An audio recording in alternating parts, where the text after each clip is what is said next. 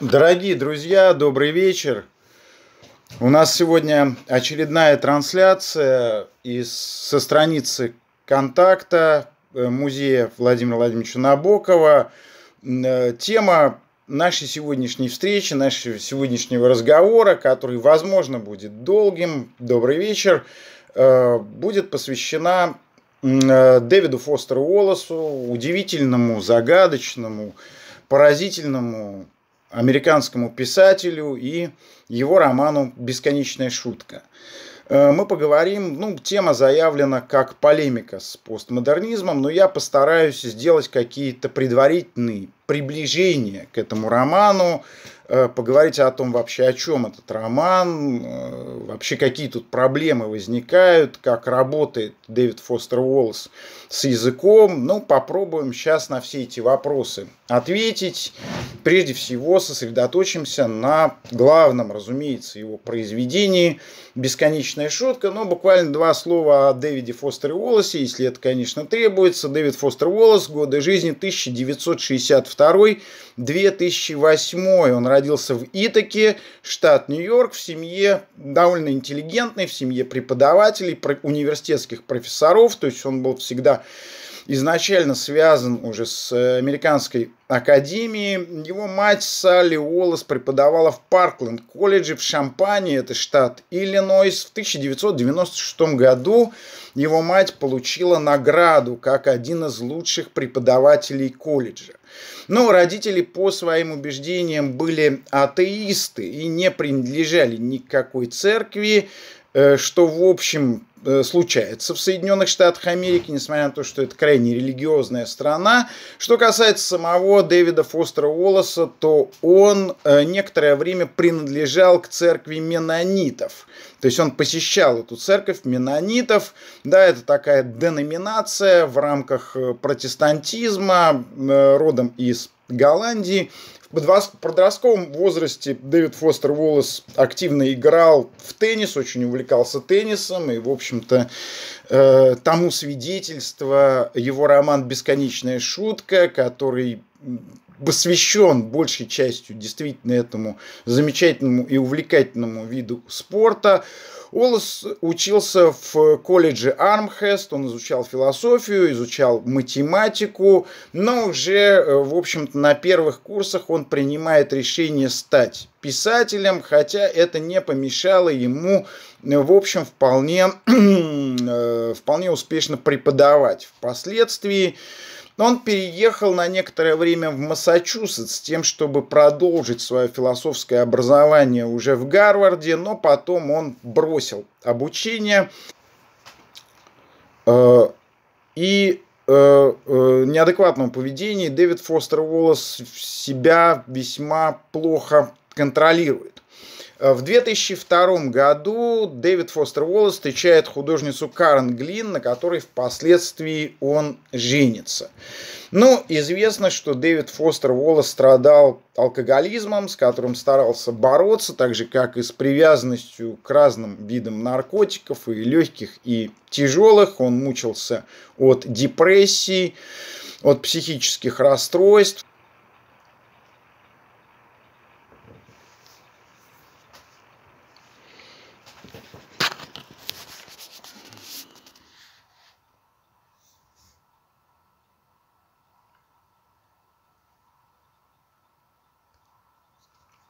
А, а,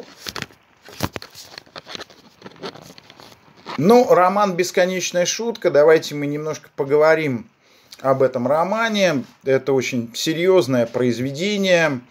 Один из важнейших текстов, который завершает по существу 20 век и американскую литературу 20 века, наверное, три таких самых главных текста, на мой взгляд, э, которые англоязычная литература оставила в 20 веке. Это в первую очередь э, роман Джеймса Джойса «Улис», это роман Томаса Пинчина «Радуга гравитации». И вот третий роман, самый важный, я бы, я бы все-таки назвал здесь роман «Бесконечную шутку». Разумеется, это один из самых интереснейших эм, серьезнейших, э, глубоких романов 20 века. Прежде всего, «Бесконечная шутка» – это роман философский, отчасти ориентированный на идеи Сьорина, Сьорина Кёркегора и Людвига Витгенштейна. И, кроме того, в этом романе возникает диалог э, как и с современниками Дэвида Фостера Уоллеса, так и с его старшими, скажем так, современниками, с предшествующим поколением американских литераторов. Это с Джоном Абдайком, Дж Джеромом Дэвидом Селлинджером и Джоном Чивером, ну и Джоном Гарднером. Вот, собственно, с этими авторами Дэвид Фостер Уоллес ведет крайне напряженный, интереснейший диалог в своем романе, включая в бесконечную шутку многочисленные цитаты из их произведений, отсылки, используя мотивы, которые используют и Абдайк, и Джон Гарднер, и э, э, Джером Дэвид Селлинджер, и Джон Чивер и так далее. Роман это текстовое, такое богатое, удивительно пространство, которое исследует современную культуру, современную политику, проблемы экологии, проблемы масс-медиа. Эта проблема очень волновала Дэвида Фостера Уоллеса. Однако, прежде всего, в центре этого романа, разумеется, фигура человека. Фигура человека, который определяет вот эти стороны социальной жизни. Роман занят в первую очередь человеком. Это роман диалогический, в котором взаимосоотносятся самые разные версии жизни. И с другой стороны, это серьезный, с одной стороны, философский роман, с другой стороны, роман, как если вы почитали, если вы познакомились с этим романом, роман, безусловно, игровой. Ну, я обозначу, наверное, сразу же какую-то основную проблему этого романа. Основная проблема – это замкнутость человека в пределах его «я». Некоторая закапсулированность современного человека западного в сфере сугубо человеческого. Это такое безвольное пассивное автоматическое существование, то есть это комплекс проблем, с которым работают, по сути дела, все англоязычные литераторы 20 века. Вот э, прежде всего вот эта проблема человеческой замкнутости на самом себе, сосредоточенности, на себе закапсулированности связана с неспособностью видеть нечто, видеть какие-то некие ценности, лежащие вне сферы человеческого я. То есть ценности абсолютные, ценности трансцендентные, неспособность э, вот видеть эти ценности, выходить в зону этих ценностей, выходить в состояние религии и пребывать в состоянии религиозного человека, как это определял Кьоркигор, оно э, э, во вторую очередь связано, разумеется, с невозможностью и неспособностью принять реальность, почувствовать реальность, которая существует по ту сторону личности. И вот здесь проводится такая, такой последовательный анализ, очень тонкий, очень мощная одновременно и атака двух самых, наверное, важных тенденций американской культуры. Это политической и одновременно эстетической. Это проблема либерализма и постмодернизма. Для либерализма, как известно, целью общественного развития является сам человек и достижение человеком личного человеческого счастья.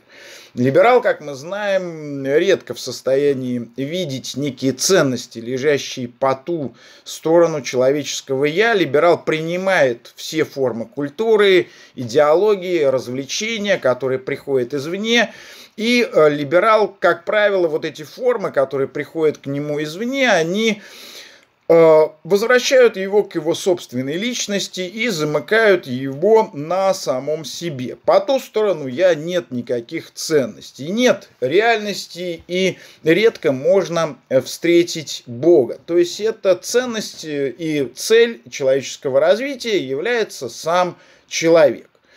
А, если говорить о постмодернизме, мы к, этому, к этой теме тоже еще вернемся. Это такое тотальная, тотальная нарративизация всего, превращение актуального, то есть той реальности, которая нам кажется актуальной в систему знаков, ее нарративизация – и одновременно перевод, перевод истин, откровений в систему знаков, тотальная игра, ризоматичность, э, сосуществование одновременно истории, отсутствие какого-то главного глобального нарратива и либеральное уравнивание всех нарративов, которые вроде бы сосуществуют, существуют одновременно, ну и, разумеется, эпистемологическая неуверенность, как это все осмыслял и определял Мишель Фуко.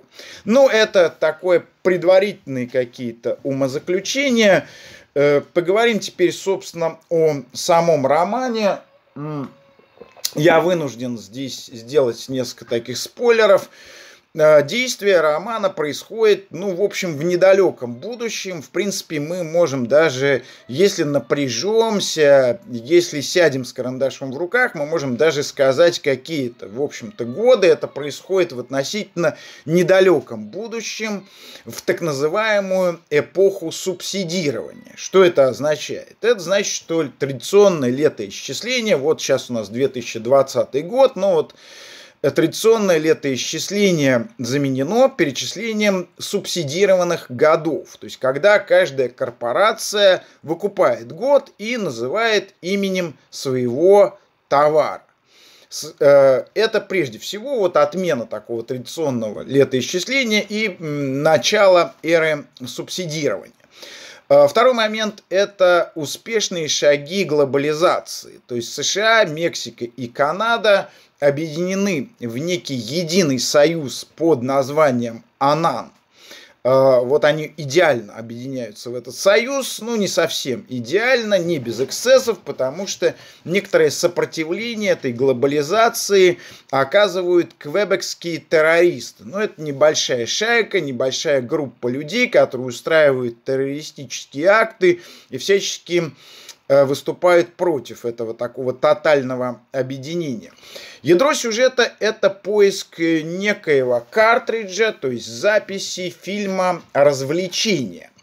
Э, фильм развлечения снял Джеймс Инканденса, э, выдающийся оптик, замечательный физик, основатель теннисной академии Джеймс Инканденса. Э, в чем как бы суть этого фильма? Фильм дает такое предельное удовольствие. Э, зритель его хочет смотреть, он его смотрит, пока не умирает от удовольствия или превращается в такое пассивное, беспомощное животное с единственным желанием сидеть и смотреть фильм.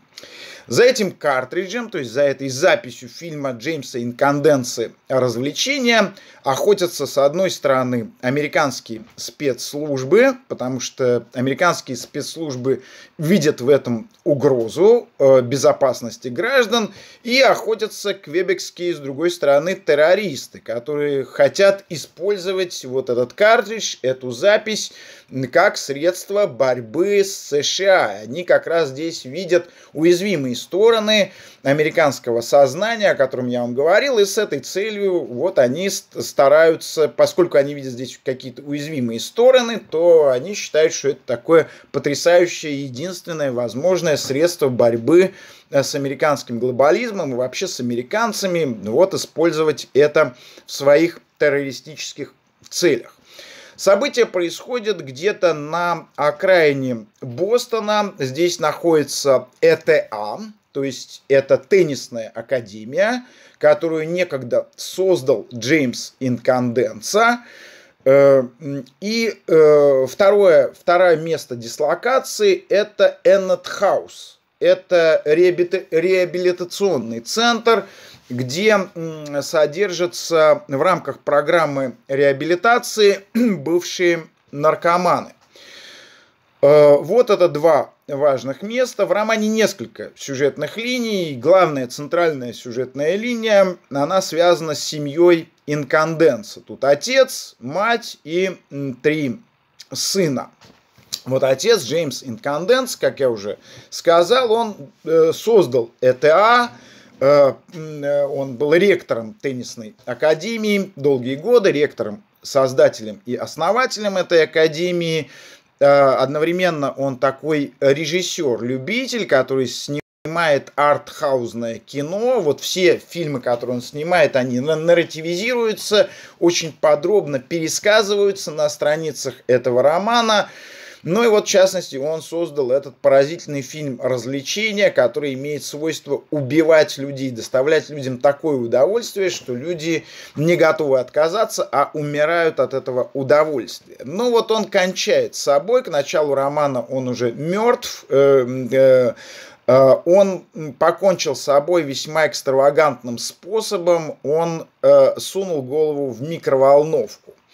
Э, вот э, у него три сына. Марио инвалид, который, в общем-то, на самом деле там есть такие смутные намеки. Он не является его сыном, он является э, сыном сводного брата его жены.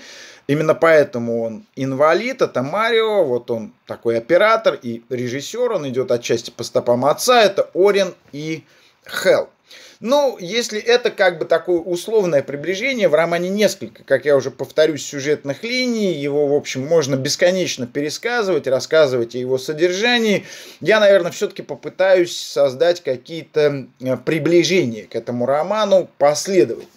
Но в определенном смысле, и это сразу же очевидно, роман является, в общем-то, репликой в сторону Уильяма Фолкнера и Федора Михайловича Достоевского.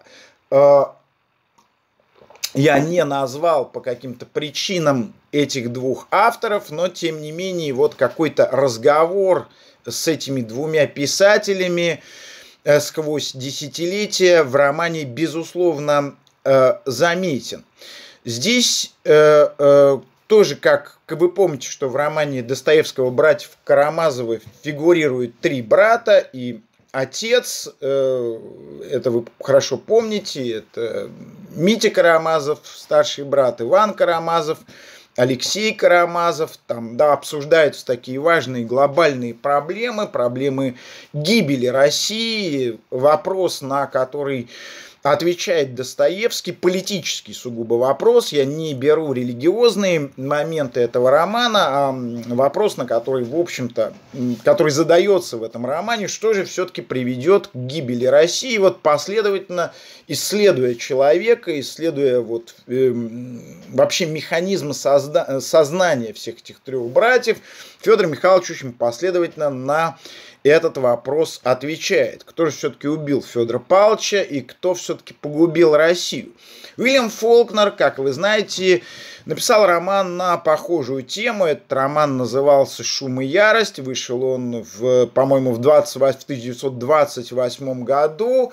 Роман тоже написанный по следам братьев Карамазовых. В этом романе тоже присутствует некая южная фамилия, южная семья, то есть семья, которая живет на американском юге, семейство Компсонов, там есть отец, мать и сестра Кедди, и есть три брата, Бенджи, идиот, э, Квинтин, интеллектуал и Джейсон, такой специфический рациональный тип, немножко проходимец. То есть вот эти два романа, они послужили отчасти, как я понимаю, для Дэвида Фостера Уоллеса моментом удивительного отталкивания. То есть э, Фолкнер, так же как и э, Достоевский, отвечает на этот важный вопрос, из-за чего погибнут Соединенные Штаты Америки. Вот он предрекает им гибель, и то же самое показывает нам, в общем, характер персонажей, а все эти характеры замкнуты внутри себя, они как бы э, изолированы, они изъяты из общего потока, из общего движения жизни. Вот сестра Кедди представляет собой поток и движение жизни, а все три брата изъяты из этого потока. И вот он расшифровывая их сознание, препарируя их сознание, показывает нам такой глобальный характер взаимоотношений между человеком и Богом, человеком и реальностью, и отвечает на вопрос, в общем, почему и как, по каким причинам погибнет Америка. И, в общем, посмотрите, Дэвид Фостер Уоллес тоже отвечает на тот же самый вопрос, анализируя э, сознание и препарируя сознание трех братьев, да, он тоже здесь показывает нам некое семейство, и тоже три брата, тоже есть мать, тоже есть отец. Даже появляется некая такая, что-то вроде сестры, э, Джаэль во, все, во всей этой истории.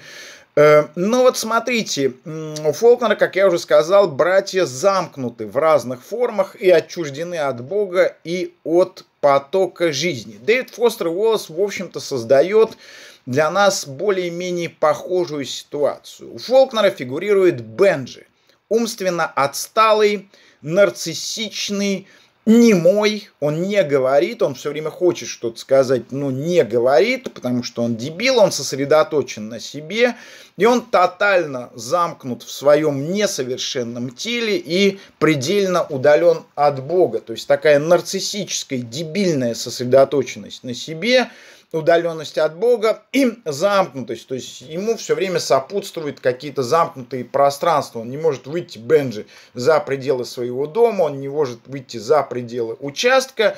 Вот здесь таким своего рода аналогом Бенджи, но совершенно иного типа выступает Марио. Э, э, ну, как бы такой сын Джеймса Инканденса, вот вопрос о том, является ли Джеймс Инканденса его отцом, он как бы имеет, э, в общем-то, не, неоднозначный ответ, но в любом случае Джеймс Инканденса э, называет Марио своим сыном, делает его впоследствии своим ассистентом.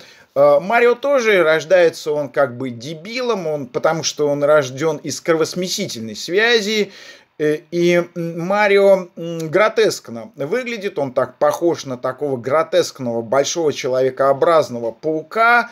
В детстве он воспринимается как умственно отсталый, однако потом мы понимаем, что в нем заключена жертвенность, духовность, выход из этой такой э, сферы человеческих ценностей в сферу религиозную, вот отчасти надчеловеческую, вот как эту сферу определяет э, Кьоркигор. То есть, если Бенджи, дебил, не в состоянии преодолеть э, тюрьму своего собственного тела, вообще замкнутость, вообще изолированность от Бога, от людей, то Марио с течением времени это преодолевает. Вот интересно, что Бенджи является своего рода репликой у э, Фолкнера в адрес, э, как вы понимаете, тоже Достоевского, в адрес его романа «Идиот», да, но тут такой несвященный, разумеется, идиотизм у Бенджи, то, в общем-то, Э, посмотрите, Дэвид Фостер Уоллес гуманизирует своего героя и заставляет его преодолеть эту изначальную как будто бы замкнутость и выйти в какую-то религиозную сферу. То есть он по, суще... по существу-то возвращает нас во многом к проблематике Достоевского, потому что это и жертвенность, и как, какое-то какое такое религиозное молчание, мы все это видим. Но есть очевидные параллели между фигурой Бенджи, фолкнеровского, э, фолкнеровского Бенджи и фигурой Марио э, у Дэвида Фостера Уоллеса. Оба они герои зрения – то есть здесь такой возникает элемент феноменологического взгляда на реальность. Бенджи только видит реальность, он ее не понимает. Он только видит, он только созерцает, он видит вещи, он не в состоянии между вещами провести причинно-следственные связи. Это существенно, потому что к Богу нужно прийти сознательно. Это священный идиотизм, он не дается от рождения, разумеется, в случае Фолкнера. Вот обратите на это внимание, но существенно то, что это роман, вот первая часть романа Фолкнера, это роман именно зрения. То есть герой видит, он видит потрясающие вещи, но их не понимает. Видеть, но не понимать. То есть Фолкнер разводит зрение и умозрение, как это впоследствии провозгласят феноменологи. У Марио происходит ровно та же самая ситуация. Он потрясающе видит. Не случайно он становится оптиком, он становится оператором, а впоследствии он дорастает до режиссера. Он снимает такие политико-сатирические фильмы, э, как нам рассказывается в романе, то есть тоже вот этот момент зрения, он существенным образом превалирует над сознанием. Марио не интересны книги, ему не так интересны разговоры, ему не так интересны умствования, ему интересна именно реальность зримая, плотная. Вот э, в этом смысле герои запараллелены, и здесь, конечно, с ними, э, между ними возникает очевидная связь, то есть великолепие зрения, сосредоточенность на э, зримой жизни. То есть, но в отличие, я повторюсь, от Бенджи, Марио связан с актуальным. Да? Марио этический персонаж, отчасти несущий в себе вот такой мощную волну религиозного отречения. То есть, условно говоря, э, Дэвид Фостер Уоллес дорабатывает фолкнеровский образ, возвращая его, ему вот эту коннотацию и, собственно, смыслы, которые несет образ другого идиота, э, князя э, Мышкина. Э, еще два брата, это Орин Орен одаренный теннисист, но не самый одаренный, не такой одаренный, как Хелл. Он занимает какое-то не самое важное место в этом, в этом рейтинге молодых теннисистов. Он потом переходит и начинает играть в американский футбол, где, в общем, ему удается прославиться, хотя ни тот, ни другой он не любит. Э, э, и вот это тоже важный персонаж, это еще один брат, и, как мне представляется, он генетически связан с фигурой Квентина, э, э, старшего брата из романа Фолкнера «Шум и ярость». Э, Квентин – интеллектуал. Квентин умирает по той простой причине, что его нравственные, этические, религиозные представления никоим образом не соответствуют ходу вещей – то есть вот юг умирает, вообще жизнь меняется, он застревает вот в этом своем понимании реальности, очень таком четком, очень внятном, из которого он не может выйти. Разумеется, Квентин, а, Фолкнеровский Квентин абсолютный интеллектуал. Он иде, идеально владеет всеми интеллектуальными схемами, Э, и его проблема в том, что он пытается постичь свою собственную сестру и поток жизни при помощи вот этих интеллектуальных схем. И всякий раз эти интеллектуальные схемы оказываются отброшены, преодолены, тогда он придумывает новые, новые, новые, но в конце концов он кончает жизнь самоубийством. Вот Орин похож на Квентина прежде всего тем, что он тоже интеллектуал, но это тотальный интеллектуал, это э, ироник абсолютно тотальный, это иронический человек Кьорки Гора. В Квентине тоже присутствует, разумеется, элемент иронии, элементы яростного такого иронического анализа реальности. Но э, Орен лишен каких бы то ни было ценностей, он тотальный ироник, он в этой своей иронической маске интеллектуальный, это интеллектуальные схемы, это интеллектуальные схемы, которые анализируют и препарируют другие интеллектуальные схемы, вслед за ними создаются третьи, то есть он иронизирует над реальностью, иронизирует над собственной иронией, над этой вторичной иронией он тоже иронизирует, это такая тотальная иронизация, такой тотальный анализ, интеллектуальный. И э, э, так же, как и Квентин, он тоже отчужден от людей, отчужден от Бога, абсолютно изолирован, вот как он все время накрывает какими-то стаканами насекомых, которые потом задыхаются вот в этом стакане, так же как в конце романа нам показан его образ замкнутый вот в какой-то такой гигантской колбе, то есть это вот такой отчужденный от мира персонаж, не фиксирующий актуальность, не связанный реальностью, не связанный связанный с э, течением жизни и ходом вещей. В этом смысле они похожи. Вот э, э, Джейсон, еще один тоже персонаж, который э, тоже, как, тоже очень важен э, для Дэвида Фостера Уоллеса, тоже крайне ироничный персонаж, тотально обрушивающий иронию на всю реальность и препарирующий вообще все ценности Юга. И вот Хелл э, это один из братьев э, Инканденса. Изначально он ироник. Э, они с братом соревнуются в том, кто более ироничен, кто более тонок, э, кто более интеллектуален. Они оба фантастические интеллектуалы, невероятно у них развит аналитический ум. И Хелл изначально замкнут вот в этом интеллектуальном семиозисе, в мире знаков, в мире слов. Но вот затем он, у него происходит в нем какая-то эволюция. Он подчиняется некой надличностной миссии. Да, он принимает э, логику и характер поведения тот, который ему диктует его тренеры, то есть подчинение некой некому дисциплинарной институции. В данном случае этой игре он превращается в такого этического человека, становится потрясающим игроком в теннис, в отличие от Орина, э, который хочет, чтобы им все восхищались.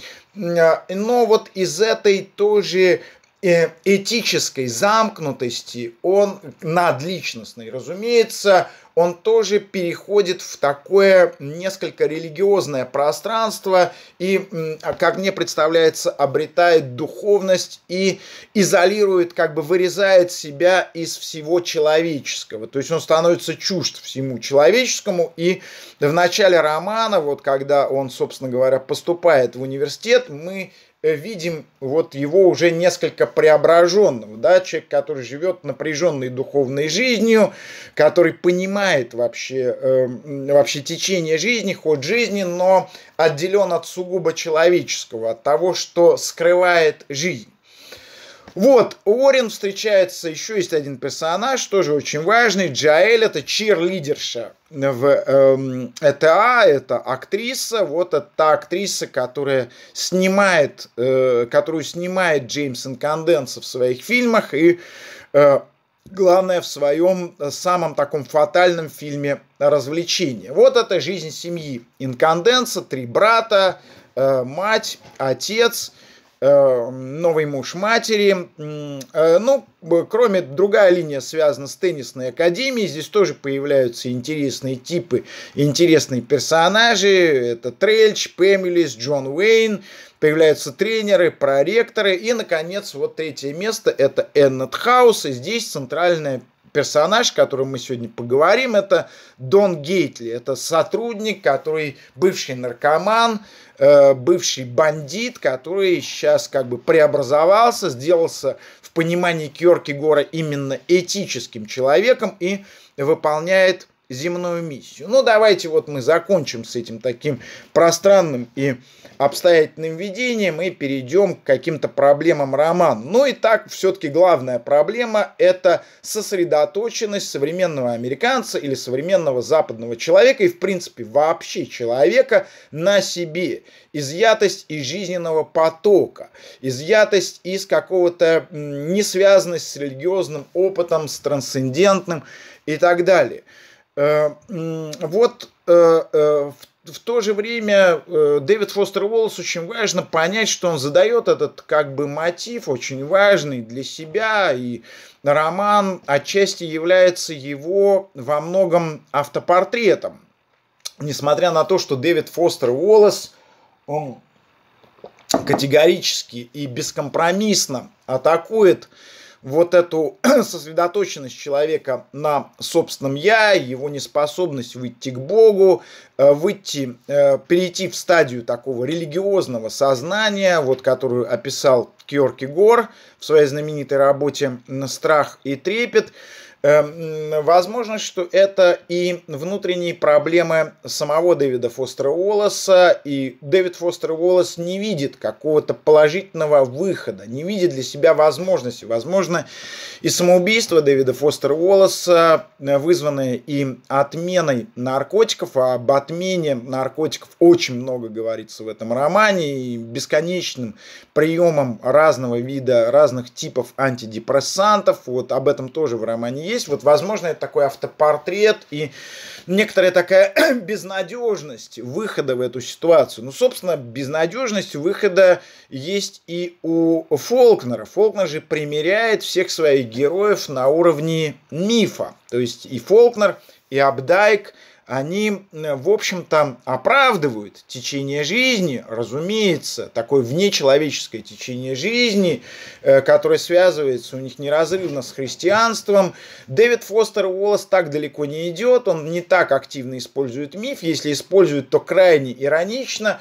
Он единственное нам указывает на какую-то отдаленную, весьма зыбкую перспективу, то есть, возможно, что-то есть. Ну, давайте молиться, давайте надеяться, находиться, возможно, за пределами сугубо человеческого. Это две вещи. Это прежде всего наслаждение, в которое погружены герои. Второй момент – это этические парадигмы, в которых тоже герои замкнуты и погружены, возможно, вот из этого, из этой эстетической или этической, сугубо человеческой, то и другая сфера является сугубо человеческой, существует какой-то выход к Богу, но он только намечен, ну, возможно, он есть, возможно, он нет. Э, нам остается здесь только э, гадать. Но, во всяком случае, на перспективе Дэвид Фостер Уоллес нам, э, в общем, указывает.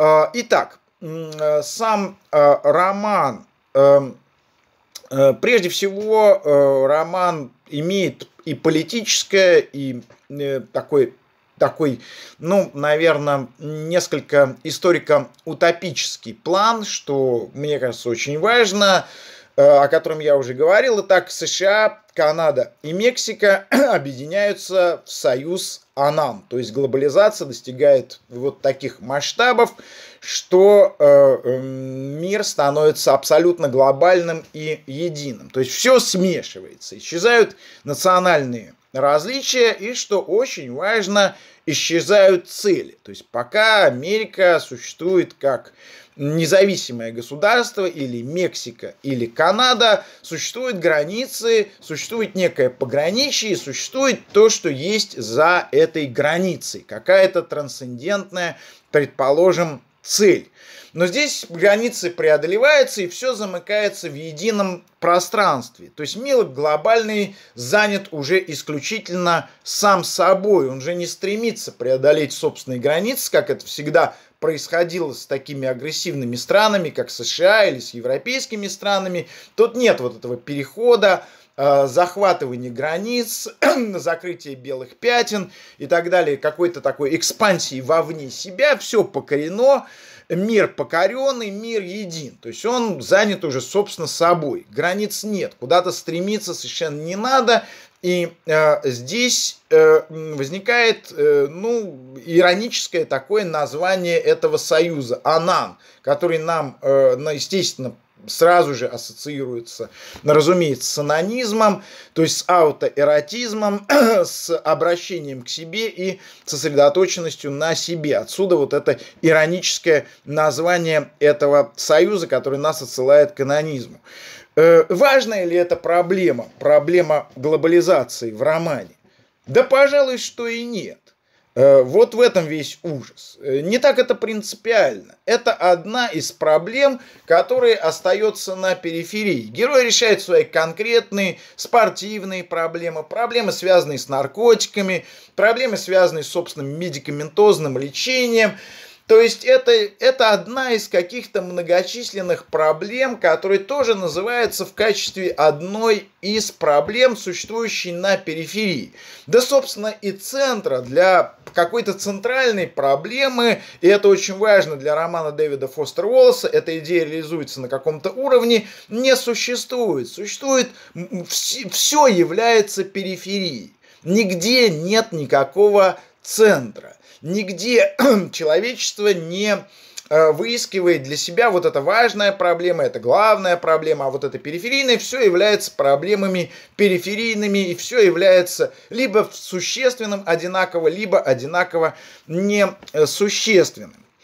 Э, второй момент – это э, некоторая утопичность и связанность с эрой субсидирования. Как я вам говорил, традиционное летоисчисление от Рождества Христова отменяется, и наступает э, эпоха субсидирования. То есть корпорации выкупают какой-то год и называют э, э, этот год именем какого-то своего товара. То есть там год впитывающего белья или год какого-то шоколадного батончика.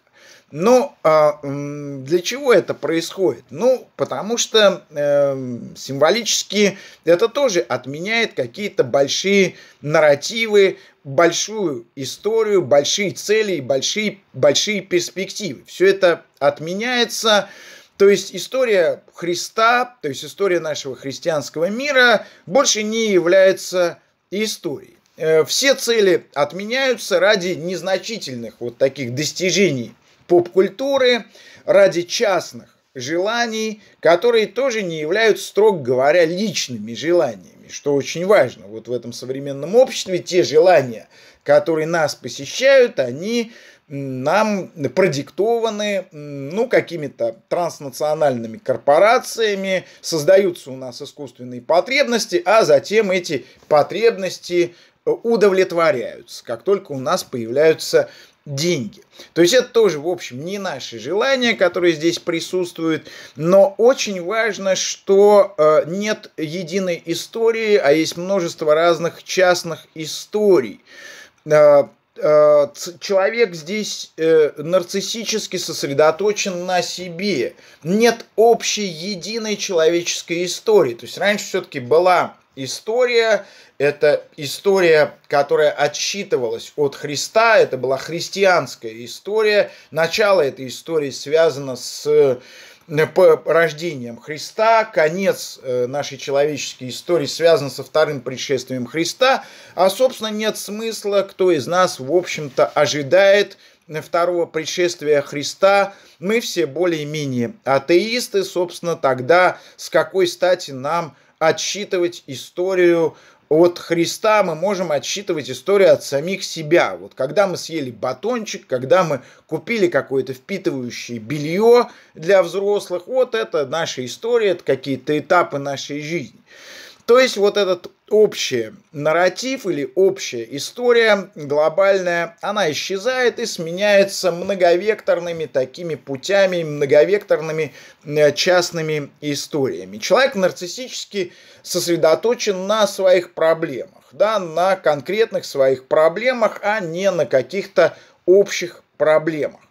То есть э, здесь, конечно, очень важный момент, и связан он с проблемой вообще э, осмысления истории в американской культуре. То есть американская культура обозначила тот кризис, который исторической науки происходит именно сейчас, когда Мишель Фуко, собственно, объявил ту историю, которая написана в школьных учебниках, он ее объявил, как вы знаете, историей власти, сообщив, что одновременно сосуществует и развиваются множество других историй, история бессознательного, вот, которую он исследует, то есть история тюрем, это тоже история, то есть это не тоже, а это и есть история, история безумия, это есть история, история слов – это тоже история, вот он пишет все свои книги, уравнивая это все, и из этих книг, в общем, исчезает вот это видение истории, как история власти, смена президентов, королей, войны, это все несущественно, это все дополнение к вот этим частным историям. То есть везде-везде периферия, везде-везде периферийные истории,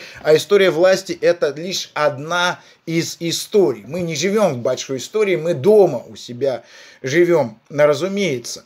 Но вот этот кризис исторической науки, который, в общем-то, был обозначен уже там в 30-е 40-е годы прошлого века, он на самом деле уже присутствовал в американском сознании. В принципе, американское сознание уже давно обозначило отсутствие значимости большой истории. С чем это было связано? В 18-19 веке американцы немножко комплексовали, как вы знаете. Ну вот существовала большая история, которая творилась за океаном, в Европе, там шли потрясающие войны, там была эпоха Наполеона. Ну а, собственно, что такого могли предъявить здесь американцы? Они находились на периферии истории, они находились на периферии внимания европейцев, они не были вообще практически международными субъектами, даже когда они получили независимость. Э, вот э, э, американцы здесь начали, старались убедить себя, что их малая история, история Америки, ничуть не менее значима, чем история Европы. Ну да, там они называют великой историей э, наполеоновские войны, вот все, что у них там происходит в Европе, но с какой стати это называть историей? У нас в Америке творится ничуть не менее интересная история. Э, и она ничуть не менее значима. Смотрите, Генри Дэвид Тора пишет в свое время замечательный текст, который называется «Уолден или жизнь в лесу. И там он тоже заявляет о важности личной истории. В какой-то момент в своем замечательном тексте «Уолден или жизнь в лесу» он рассказывает о э, муравьиных войнах. Вот он нам подробно рассказывает о муравьиных войнах, гуманизируя так муравьев, персонифицируя их, э, показывая, как они себя ведут. И в какой-то момент он говорит, посмотрите, вот этот герой, вот этот муравей вел себя так же достойно, так же героически, как Ахил или Аякс или Одиссей. Это ничуть не менее значимо, чем это, эти герои, муравьи, они вот почему-то называются безымянные, они ничуть не менее значимы, чем герои Гомера. А вот доблесть вот этого рыжего муравья я ставлю гораздо выше, чем э, и значимее, чем герои, доблесть какого-нибудь героя э, Трои или героя Ватерлоу. То есть, смотрите, это для меня гораздо более значимо. Видите, он по сути дела, релятивизирует историю. Он говорит, что история муравьев примерно так же для него вот лично более значима, чем большая глобальная история. Э, ему вторит, в общем, Генри Миллер в своем э, сборнике «Черная весна», где он, по сути, продолжает эти, э, развивает эти мысли и говорит нам примерно следующее. Ну что мне там, до Ленина, до Сталина, до Гитлера, меня больше волнует вот некий Эдди Карни – который мне поставил фингал под глаз. А Ленин, Сталин с Гитлером меня вообще особенно не волнует. То есть, смотрите, вот эта релятивизация по существу истории, это отмена больших нарративов, это разговор о том, что моя личная жизнь также значима, как мировая история, и мои конкретные проблемы также значимы, как конкретные политические проблемы. Это все нас движет вот к тем идеям постмодернистским, которые и к тому, по сути, к той самой оптике, которую мы, в общем, сейчас наблюдаем. Но есть еще один тоже важный момент, когда мы говорим об американской истории. Э, это тоже некоторое представление американцев об истории. То есть для американского сознания ведь история, собственно говоря, э, по-настоящему-то она осталась в Старом Свете – что такое США? И кто создавал э, США. США создавали праведники, богоизбранные люди, люди, которые избрали для себя истинную веру и истинную религию, люди, которые осуществляли земную миссию, это были вот в частности кальвинисты или те же менониты, которым принадлежал Дэвид Фостер Уоллес, то есть, по существу, они осуществляют, э, ну, некий град на холме, рай на земле. Американец, вот создается миф о новом Адаме и о стране, как о новом Иерусалиме. Американцы богоизбранные люди и создают земной рай. Вот это история, история грехопадших людей, это все европейская история. А здесь вроде бы как земной рай осуществлен или осуществляется. То есть время в его европейском понимании, оно как будто бы остановилось, и перспективы вроде бы не нужны. Эм, Америка величайшая страна, да, говорят американцы из всех, ну какая она величайшая, мы сейчас видим и наблюдаем, но не в этом дело. Представим себе сознание там американца в какую-нибудь эпоху проспирити, да, среднестатистического. Вот это действительно град на холме, какой-то рай, вот реализованная утопия, ты получаешь ровно то, что ты хочешь. Здесь время как будто бы останавливается. И вот этот комплекс проблем, разумеется, э, решает в своем романе э, Дэвид э, Фостер Уоллес, вот тот комплекс, который я вам сейчас обозначил, этот момент и остановки истории, достижения как бы земного рая, с одной стороны, с другой стороны, вот эта попытка снять историю власти, уйти от глобальной истории или объявить ее одной из всех возможных историй. Ну и вот, собственно говоря, э, эра субсидирования и вот этот утопический элемент этого романа и э, как бы возникающие здесь рассуждения об истории, они, разумеется, связаны с вот этими моментами, которые я сейчас обозначил. Экологическая проблема тоже становится важной. Здесь, э, как мы узнаем, создается некая вогнутость э, на юге Канады, куда э, пушками отправляют мусор. Ну, тоже очень важная проблема, такая глобальная помойка на территории Канады, но проблема эта тоже никого особо не волнует. Это проблема как бы периферийная. Мы иногда видим упоминание этой проблемы, она на самом деле крайне важная, она глобальная, потому что это помойка, это кошмар, экологическая катастрофа, но она в принципе никого не интересует. Все заняты своими исключительно частными проблемами, кроме вот маленькой группы квебекских террористов, которые выступают и против глобализации, глобального объединения всех стран в систему АНАН, это такие антианонисты, как э, остроумно их описывает э, Дэвид Фостер Уоллес, и с другой стороны они, конечно, да, протестуют против э, готовящейся глобальной экономи- э, экологической катастрофы. Но очень важно, что вот эта проблема, она и проблема глобализации, проблема экологии, она как бы вплетается в роман как одна из периферийных проблем, но здесь нет главных проблем. И это принципиальный момент, потому что Дэвид Фостер Уоллес дает бой постмодернизму на его собственной территории.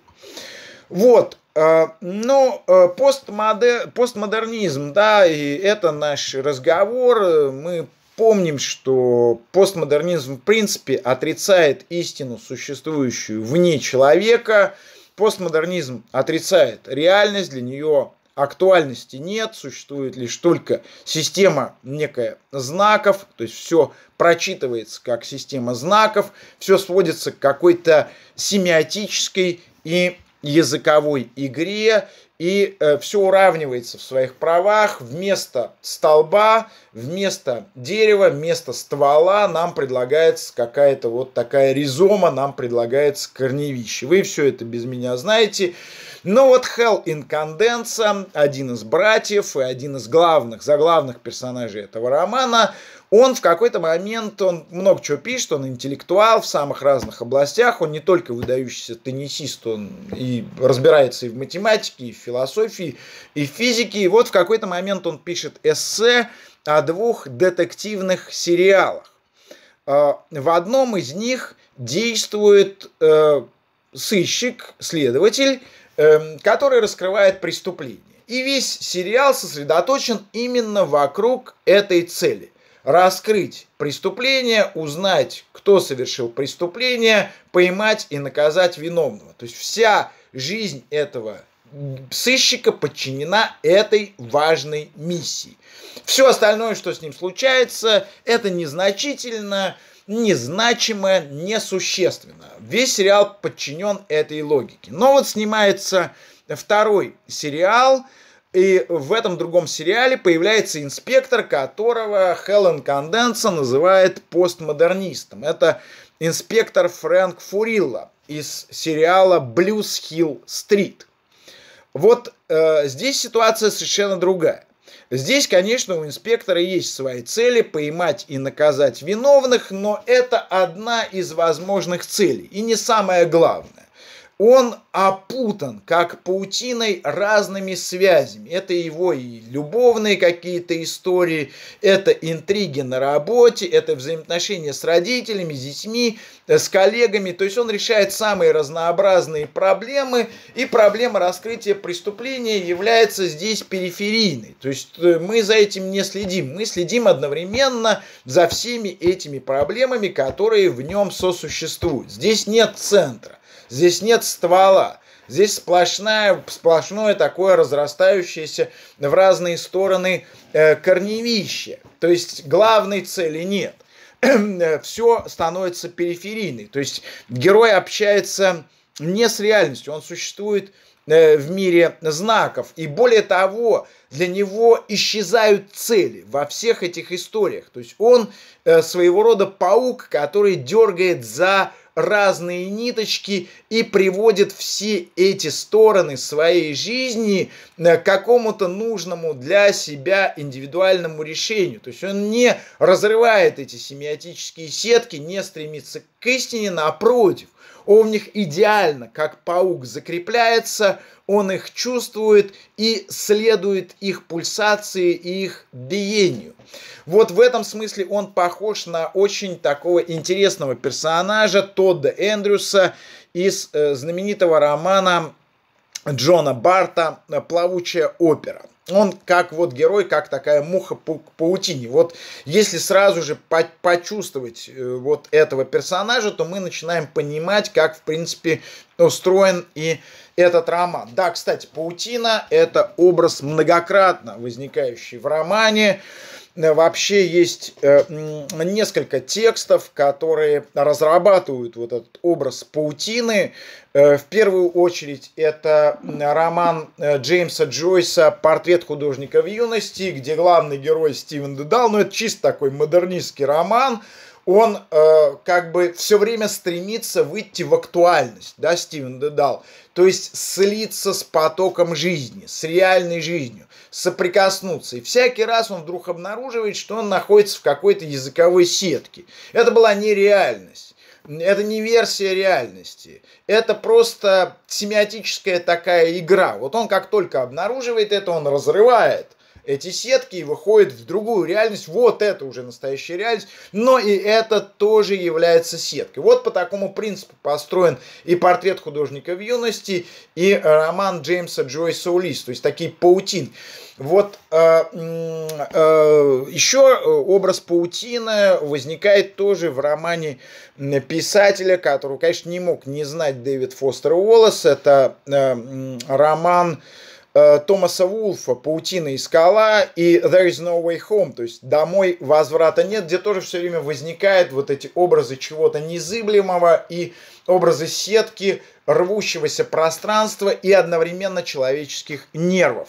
То есть э, э, в романе герои пребывают вот в этих различных семиозисах, вот в системах знаков, системах обозначений – все время герои видят пауков. Практически вот каждые три страницы возникает слово паутина, упоминаются пауки, эм, Black Widow, самые разные пауки.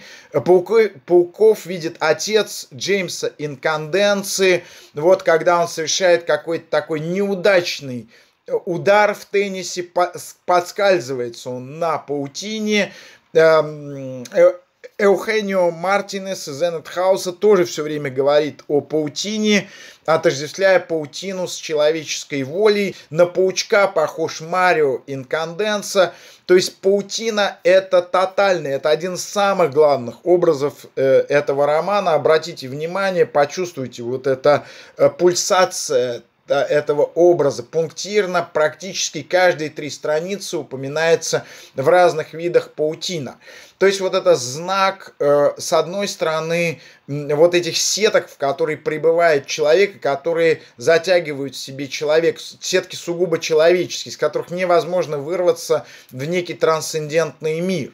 Э, с другой стороны, паутина описывается не только как то, что затягивает человека, нечто внешнее по отношению к нему, это то, что пребывает в нем. Вот э, не, нерв, нервы человека вся нервная система описывается тоже как паутина. Это тоже такое человеческое пространство, вот эти наши нервы, которые передаются как во внешний мир. Естественно, это оформляется как какая-то внешняя паутина знаков, в которой мы существуем. Но на самом деле мы существуем, в нас существует эта паутина, из которой мы можем, не можем вырваться. Мы, мы не можем преодолеть себя. Мы не можем преодолеть протяжение э, чисто человеческого. То есть неважно, чужая это паутина, как в случае с этикой, когда мы подчиняемся, например, логике игры, в которой мы участвуем, Э, эм, и выполняем там какие-то миссии, либо когда мы замкнуты на своем интересе, на, эм, на своем удовольствии, как в случае такого этического, эстетического, простите, кёркегоровского человека. В любом случае это либо внешняя паутина метафорическая, либо внутренняя паутина. Да, в романе есть э, довольно интересный такой эпизод, многостраничный, это несколько десятков страниц, чуть больше, описывается игра такая полузапрещенная, которую ведут между собой юные теннисисты, эсхатон.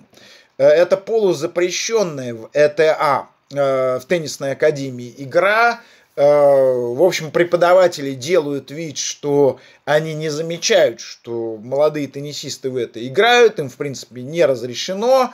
Э, эм, э, но э, как бы ее поощряют. То есть это эм, эсхатон это такая игра при помощи старых мечей, в которых сама игра, она ведется на нескольких кортах одновременно, в которой конфигурация пространства и корты представляют собой ну, некоторую часть земной поверхности. Это как карта. Ракетки – это, э, собственно, вооружение, э, которое отправляет э, снаряды Э, в, на территорию противника. Вот начинается такая мировая война, студенты, игра, э, то есть, простите, школьники играют в эту игру, разбивают конфигурацию мечей, э, наносят какие-то удары, удары там по Москве, по Петербургу, по Кентукки и так далее. Начинается такой глобальный мировой апокалипсис, э, разумеется, но вот он связан с умением правильно куда-то отправить мяч. То есть они создают карту такой внешней э, политики. То есть, смотрите, на самом деле, с одной стороны, в общем, это как бы такая внешняя игра, э, то есть такая игра вроде бы детей, с другой стороны, с одной стороны, вот как бы вся вот эта наша политическая реальность, животрепещущая, она детьми проецируется на плоскость. То есть постмодернизируется, проектируется на плоскость, преображается в систему знаков, обозначений, Э, и так далее. И вот в игру вступают именно знаки и обозначения. С другой стороны, мы начинаем понимать, что и большая политика это тоже э, своего рода такая постмодернистская игра, которую ведут какие-то корпорации, какие-то президенты друг с другом.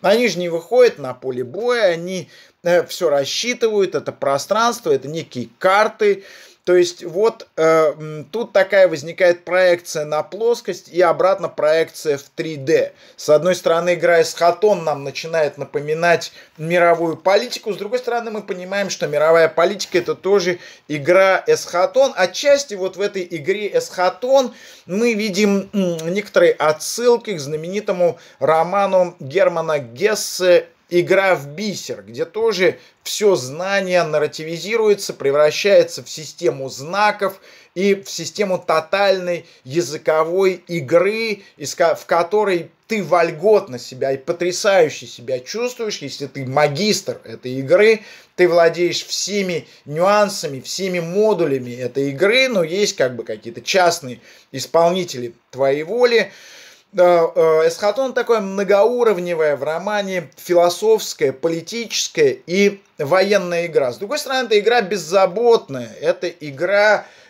не на выигрыш, это именно игра в изначальном слове, э, в изначальном значении этого слова. То есть настоящая игра – это игра ради процесса. Игра в бисер – Ради чего? Какую, какую мы цель там достигаем? Нет. Никакой цели мы не достигаем. Наука не достигает никаких целей. Это просто игра. Это процесс ради самого процесса. Это просто интересно само по себе. Вот это пространство абсолютной игры.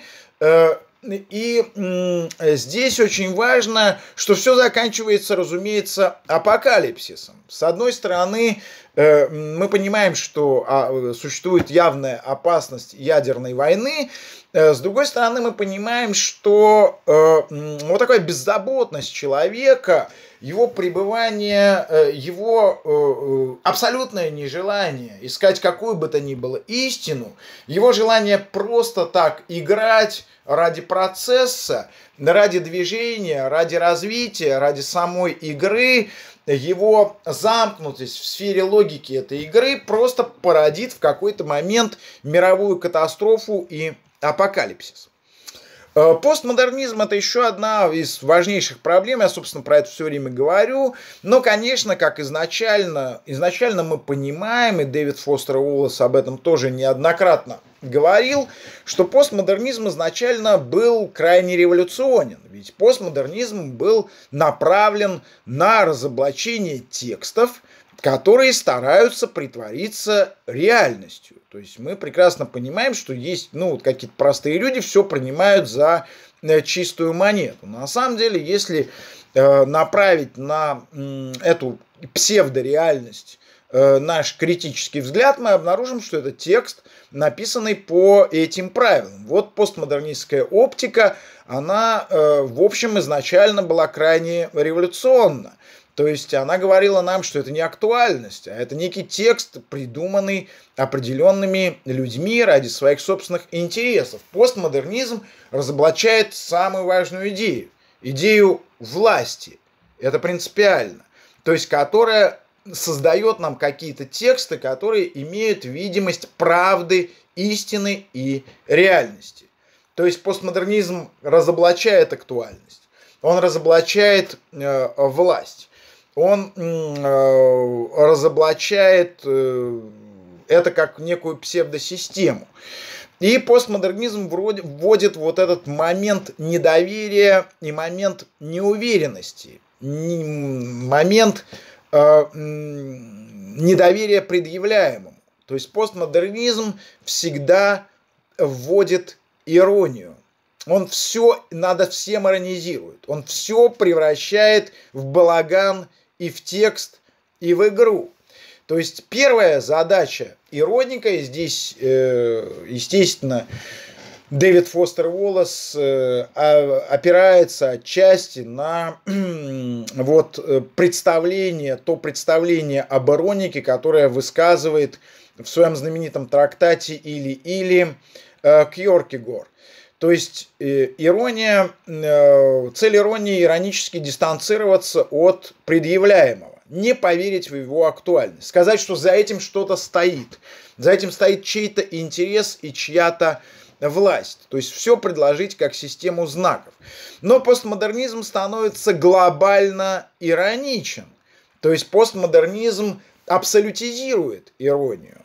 Э, и вот э, постмодернизм разрушает абсолютно все, разрушает, разрушает все данности, отменяет все возможные смыслы. Во всем он видит присутствие власти и какого-то интереса. Все э, потрошит как систему знаков, занимаясь тотальным аналитизмом, занимаясь уже и иронизируя над собственной иронией. Здесь вот возникают такие переклички с романом Джона Гарднера «Грендель», где вот многие герои Дэвида Фостера Уоллеса, например, Орин, вот очень похож на Гренделя. Грендель – это роман Джона Гарднера, который, собственно, нам рассказывает, в котором рассказывается Беовульф, но не от имени эпического сказателя, а от имени самого Гренделя. Вот этот Грендель, приняв на себя такую философию негативизма э, э, дракона, отменяет все смыслы, разрушает все смыслы, превращает их в абсолютное ничто. То есть становится таким сартровским хаосом, об который разбиваются все концепции и все идеи. Вот э, многие персонажи Дэвида Фостера Уоллеса, они становятся вот именно такими, такими являются Хелл отчасти и Орин, то есть об их сознании разбивается абсолютно все. Они везде обнаруживают игру, они везде обнаруживают нарратив, они везде обнаруживают чью-то власть и систему знаков. Они всегда отменяют актуальность и смысл, не предлагая при этом новую оптику. То есть они тотально ироничны. Они высмеивают абсолютно все.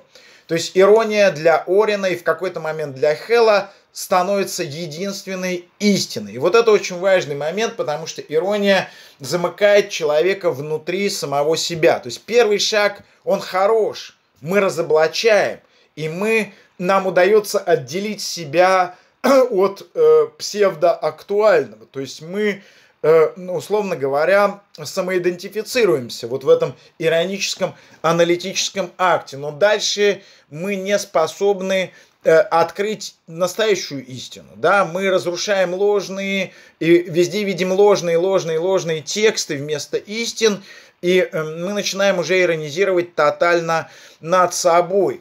В общем, мы э, помним э, замечательное эссе Дэвида Фостера Уоллеса «Энунибус плюром», то есть из одного многие. Вот это знаменитое эссе, которое в свое время очень ярко прозвучало, и оно очень талантливое, и, естественно, оно находит отражение э, в системе романа, в котором нам рассказывается, что действительно медиа формируют ложную фиктивную повестку. Но вы прекрасно знаете, что никакого доступа к реальности у нас нет. Мы читаем СМИ, и СМИ нам предлагает э, версию реальности, предлагают некий текст, ну, заставляют нас прочитать реальность так, как им это выгодно, так, как им это нужно. То есть медиа создают нам реальность, и вот умники, интеллектуалы с легкостью э, ее препарируют, эту, э, э, эту систему ценностей, видя в нем действительно, видя в нем текст, а не реальность. То есть начинается критика медиа, как вы знаете, в 60-х годах, поскольку, ну, уж нельзя столько врать, уже вы столько врете, что уже невозможно. Начинается критика медиа, и медиа отбирает вот эту, эм, собственно, собственно, это оружие у своих критиков и включает эту критику в свое пространство. Ну, вы прекрасно понимаете, вы можете смотреть там интернет, вы прекрасно видите, что медиа начинает себя критиковать, иронизировать над собой. То есть иронизировать над э, тем, что только что Э, э, прямо в соседней программе вам актуализировали. То есть все превращается в абсолютный балаган. И что, э, в общем-то, является путешествием в никуда. Это на самом деле ситуация еще хуже, потому что медиа нам предла- не предлагает истины разумеется. Она предлагает нам сомневаться абсолютно во всем, и сомневаться в своих сомнениях, и сомневаться в тех сомнениях, которые являются сомнениями по поводу других э, сомнений. Да, это такая э, какая-то чудовищная, абсурдная, чисто бекетовская э, и картезианская э, ситуация, непознаваемость мира.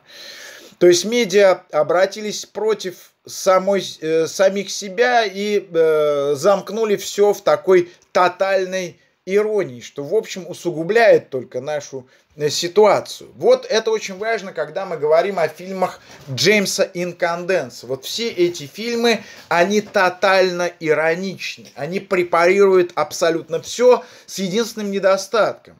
Они не дают нам выхода в трансцендентное. Он, э, Джеймсон Конденса, так же, как и Дэвид Фостер Уоллес, указывает нам, да, нечто, видимо, присутствует, да, какая-то э, реальная, да, все задано нам в пространстве символического, а, а мы, в общем, присутствуем в пространстве реальное, наверное, где-то есть, наверное, где-то оно в целом существует, да, вот то реальное, о котором говорил Лакан, но, но мы не знаем, да, мы живем в тотальной системе текстов, да, э, принимайте текст, который вам нравится, вот вам нравится это, принимайте это, нравится то, принимайте то, но и то, и другое, в общем-то, вранье и тексты, да, то есть это нас заражает таким тотальным неверием в реальность, потому что реальность нам, в общем, недоступна. Вот э, э,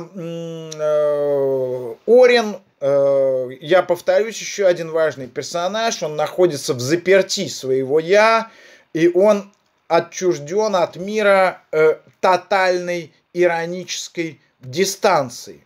То есть он, э, в его понимании, вещи абсолютно непостижимы, то есть здесь такой сартровский взгляд, вещи абсолютно враждебны человеку, вот эта сартровская э, модель в духе Сартра и Камю, она регулярно воспроизводится Дэвидом Фостером Уоллесом, абсолютная враждебность, не значит, что он другие мысли не высказывает, но вот абсолютная враждебность, точнее равнодушие вещей к человеку и равнодушие людей к друг другу, вот это то, что называется не отчуждение, а скорее заброшенность. Ну и вот Орин, он такой э, тотальный в этом смысле э, религиозный, антирелигиозный, простите, экзистенциалист. И э, вот здесь э, такая тотальная бесконечность. Ирония над иронией. Ирония над своей собственной иронией. Э, то есть дурная бесконечность постмодернистского познания, которое и познанием-то не является. То есть такая тотальная интоксикация нашей мысли. Это мысли, которые описывают другие мысли. Вот это очень важно в этом романе. сразу же, когда вы будете читать, вы обратите внимание на то, что персонажи, когда вступают в диалог друг с другом, они начинают рассказывать, как они сейчас друг с другом общаются. Что они имеют в виду, говоря вот это. Или там м, психоанализ тоже, который тебе объясняет, что ты в принципе сейчас думаешь, по каким принципам строится твое мышление. То есть такой метанарратив, который все время в этом романе возникает. Да, ну и такой постмодернистский прием, который использует очень хорошо э, Уоллес, это нарративизация видимого. То есть здесь Уоллес э, нарративизирует абсолютно все. То есть он переводит э, в языковые знаки, все визуальное, то есть все фильмы нам очень подробно и обстоятельно пересказываются, как фильмы Джеймса Инканденса, так же как и э, сатирический фильм его сына, то есть все это предъявляется нам как система знаков. И то же самое э, происходит, когда он описывает персонажей, и попутно описывает музыку, да, то есть которую персонажи слушают. Он нарративизирует музыку, это очень талантливо происходит, мы даже все это, в общем, способны, наверное, услышать. Вот там есть такой эпизод, когда маньяк Ленс выходит на охоту, его маникальность в том, что он убивает животных, режет глотки, там душит котов, убивает, режет глотки собакам, вот он выходит на свою охоту и параллельно звучит музыка, которую он слышит, которая его сопровождает, и эта музыка так тотально э, нарративизируется. Э, вот э, на самом деле нельзя и очень сложно нарративизировать развлечения, да, потому что люди фактически ментально погибают, столкнувшись с развлечением. И пересказать фильм э, развлечения достаточно сложно. Это такой очень серьезный вызов э, постмодернизму и всей этой культуре. Это колоссальный ответ на эту культуру. Ну, давайте, смотрите, обособление человека от реальности. Одна из тем этого романа. Обособление, самоидентификация, она вообще тотально необходима. Как самый первый шаг. И это очень важный шаг, он нас идентифицирует, но этот шаг недостаточен. Это первый шаг, когда мы действительно обособляемся. Орин делает этот первый шаг, обособляется, самоидентифицируется, но и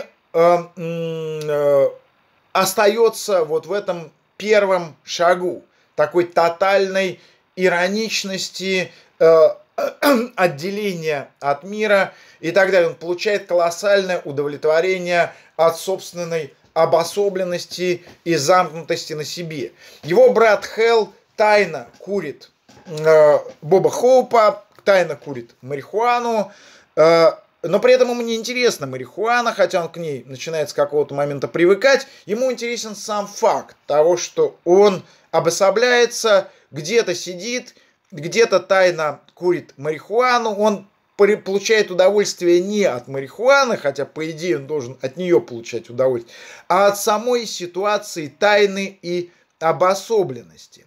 То есть удовольствие быть внутри самого себя, удовольствие быть собой и там внутри самого себя и оставаться. Э, Джаэль, одна из персонажей романа, актриса, снявшаяся в фильме «Инконденса. Развлечения», она освобождается от взглядов других, она носит вуаль, э, не желая определять себя взглядами других. Это действительно этически правильный путь, о котором говорит Кьоркигор. Ни в коем случае нельзя определять себя посредством других, посредством других людей. То есть человек выходит один на один с Богом. То есть он отчитывается перед Богом. Как Бог его увидит, но не как его увидит, разумеется, другой человек.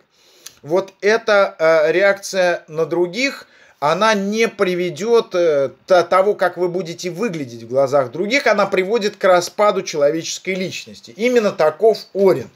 То есть он все время смотрит на себя, идентифицируясь самодостаточно, пребывая в своем собственном «я», он при этом все время смотрит на себя глазами других. Он пытается с собой удовлетворить других. Вот он там спит.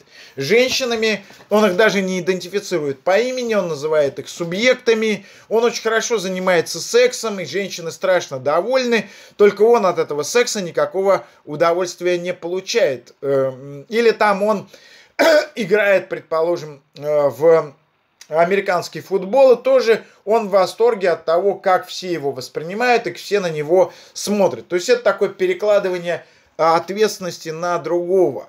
Вот э, зеркало и рефлексия. Да, рефлексия ироническая, и зеркало это э, еще один частый образ наряду с образом паутины, который все время возникает в романе. Паутина и зеркало. Зеркало все время. Рефлексия, рефлексии, э, рефлексия, отображение тоже зеркала, и все время возникают зеркала, в которые смотрятся на себя персонажи.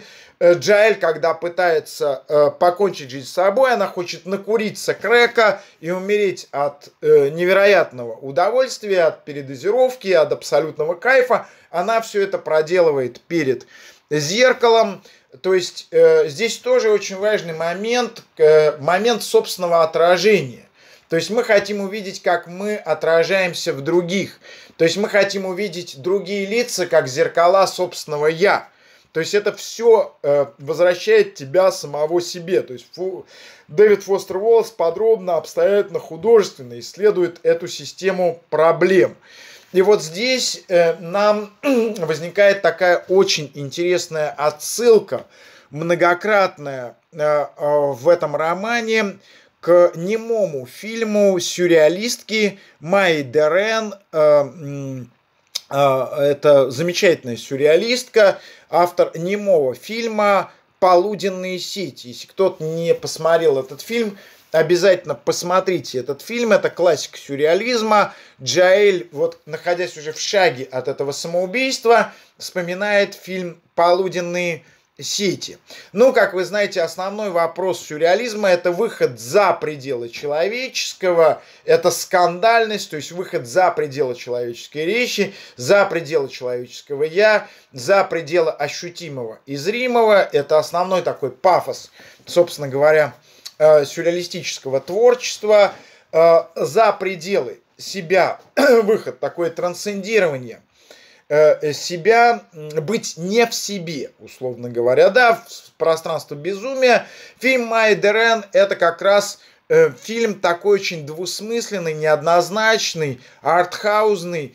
Э, там действует такой персонаж, у которого вместо лица зеркало – там описаны такие полуденные действительно сети, то есть это пространство человеческого, из которого героиня вырваться не может. В конце концов мы видим, что камера сосредоточена на орудии убийства, на ноже, и мы понимаем, что это такой намек на самоубийство, то есть это пространство, из которого героиня выйти не может. Ну, как вы знаете, Майя Дерен была законченная наркоманка, так же, как и Джоэль персонаж этого романа, то есть невозможность выйти за пределы этих сугубо человеческих удовольствий, за пределы вот этих зеркал. То есть э, вот это очень важный такой момент, э, за пределы себя, э, за э, то, чтобы видеть в других все-таки других, а не отражение самого себя. Но мы стремимся видеть в других отражение самого, самих себя. Вот это очень важно. То есть невозможность выйти за предельную истину, трансцендировать себя и вместе с собой сугубо человеческое. Как квебекские террористы осуществляют свои террористические акты? Довольно остроумно, они выстраивают на, выставляют на трассах гигантские зеркала. Машины с американцами едут навстречу этим зеркалам. Что они видят? Они видят огонек, приближающий по встречке. Они сворачивают и падают в пропасть. Причем они сами как бы падают в пропасть, и полиция не понимает, почему машины в одних и тех же местах срываются в пропасть. Но потом, поскольку естественно, это происходит регулярно. Они, полиция здесь обнаруживает какую-то э, очевидную закономерность. И вот эта э, изуитская тактика э, квебекских террористов, она обнаруживается. Но вот это такой довольно интересный такой прием, это метафорическая смерть. Да? Американец самодовольный, замкнутый в пределах своего собственного «я». Вот он мчится, он видит на трассе самого себя, естественно, это, это гибель, да, это абсолютные гибельные пути замкнутости в сфере человеческого. Стремление э, оценивать себя глазами других. В этом и есть, собственно, суть и принцип американской мечты. Да, и про это все время говорят герои Дэвида Фостера Уоллеса, и Орин, он именно таков, да, себя смотреть глазами других. Вот то, что Кьорки Гор постулирует, как не, э, ну, путь э, э, тебя э, абсолютно пресекающий твое движение к Богу, это вот эта ориентация на общественное мнение, на то, что к тебе э, скажут, выглядеть удачливым, профессиональным, талантливым в глазах других, это на самом деле это ты ищешь в других свое собственное отражение и возвращаешься к самому себе. Ну, вот такая метафора гибели американцев – это э, вот такой остроумный террористический акт, который устраивают квебекские террористы. То есть они показывают прямой, собственно, месседж. Э, да, ну вот интересный момент иронии.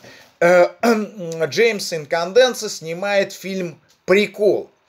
Э, в рекламе он говорит, что Э, э, я не советую вам идти на этот фильм, потому что вы ничего, кроме себя, в этом фильме не увидите. Это будет скучно.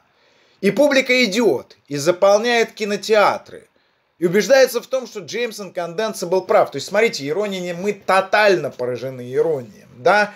Мы уже не отличаем прямое высказывание от ироничного. Тебе сказали, не ходи туда и не смотри. И из-за этого ты идешь и смотришь. То есть тебе же предупредили, что это будет скучно.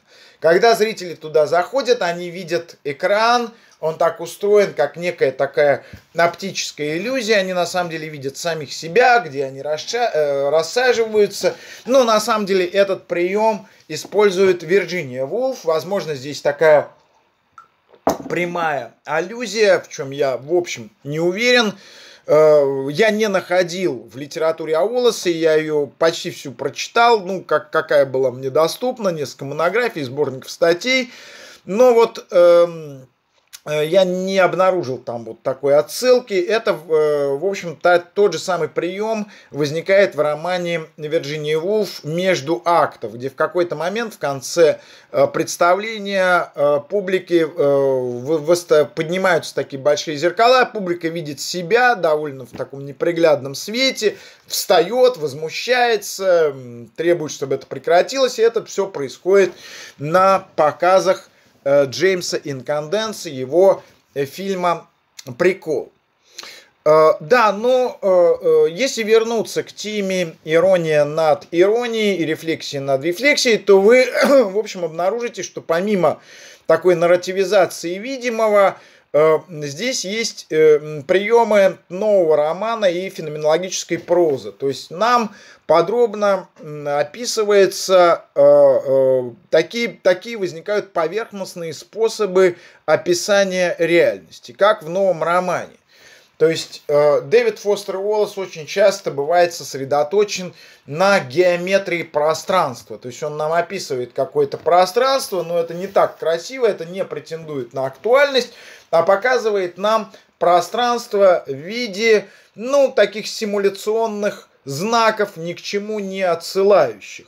То есть как неких проекций, как что-то как будто только что нарисованное и так далее. То есть без проникновения в существо э, этих знаков. То есть у него очень часто возникают вот эти элементы метапрозы, которые он постоянно усиливает. То есть я повторюсь, Дэвид Фостер Уоллес, э, в общем-то, э, дает бой иронику Киоркегоровскому или постмодернисту на территории, в общем, самого постмодернизма, использует абсолютно те же приемы, только над ними иронизирует, хотя как можно иронизировать над тем, что само по себе является иронией. То есть люди разговаривают о том, как они разговаривают. Периодически Э, разговаривает с Сорином, и мы понимаем, что это разговор людей о том, как они сейчас разговаривают. Это похоже на э, разговор персонажей Самуэля Беккета. Да? Давайте договоримся о языке, на котором мы сейчас с вами будем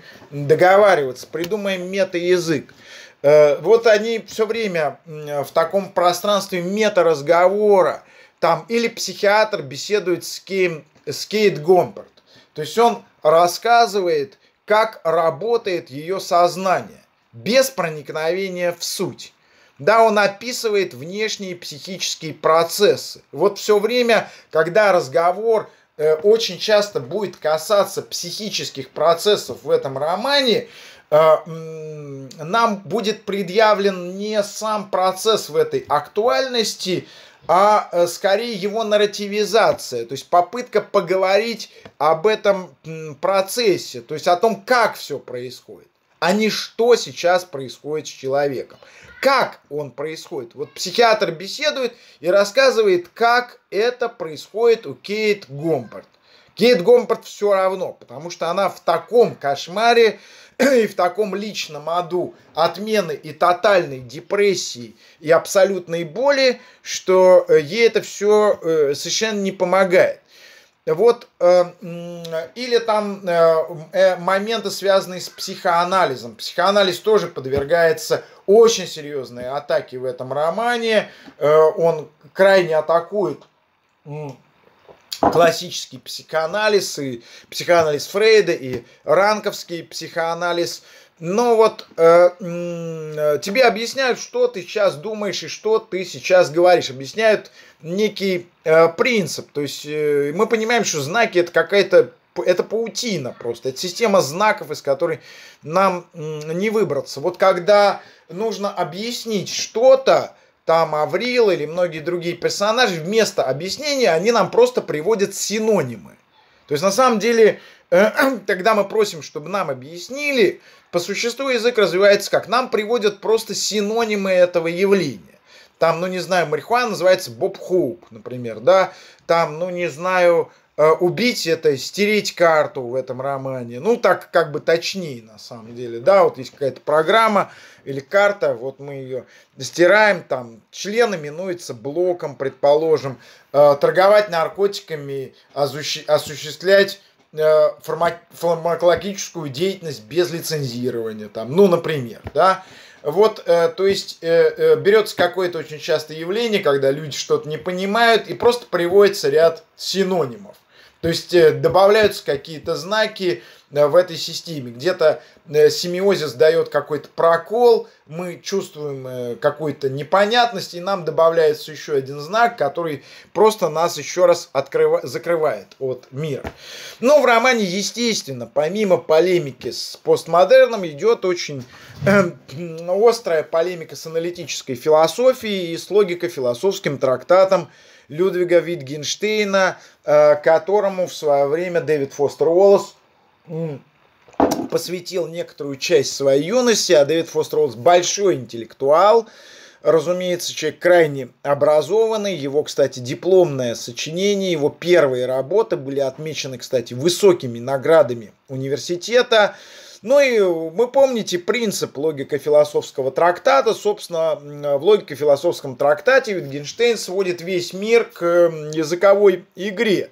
То есть познание мира с точки зрения Wittgensteina осуществляется именно лингвистически. То есть достаточно осознать э, лингвистический анализ отношений между языковыми знаками, да и, в общем, все, мир, э, по сути, становится такой паутиной языка. Ну и можно вспомнить, разумеется, важные идеи там Лакана о том, что наше бессознательное, а это и собственно, суть нашего «я», организовано как язык. Да, ну дальше уже как бы, в общем, идти некуда. По сути, я уже сказал, та же самая идея э, реализуется в романах Джеймса Джойса. Да, никакого познания нет, никакой реальности нет, есть просто языковая сетка. Нужно просто понять, как устроен язык. Э, тебе предъявляют нереальность. Тебе предъявляют язык. Вот все, что тебе везде говорят, тебе предъявляют язык. Тебе надо просто понять характер лингвистических отношений. То есть язык создается человеком для внешней власти, то есть осуществлять некую власть. И вот эта идея в романе прокручивается неоднократно. В романе есть такой персонаж, крошка Юэл, э, ну он такой э, общается в среде гопников, хулиганов, и он над ними верховодит. Почему он верховодит? Потому что он ритор, потому что он великолепно владеет языком. То есть он может их убедить в чем угодно. Этих хулиганов, вот куда надо пойти, что нужно сделать. Нужно, чтобы касса, общак был обязательно у него вот он полностью владеет этой ситуацией. Они ему беспрекословно подчиняются, потому что они не владеют языком так, как он. У него тотальное владение языком. Он владеет, и это власть над этими хулиганами.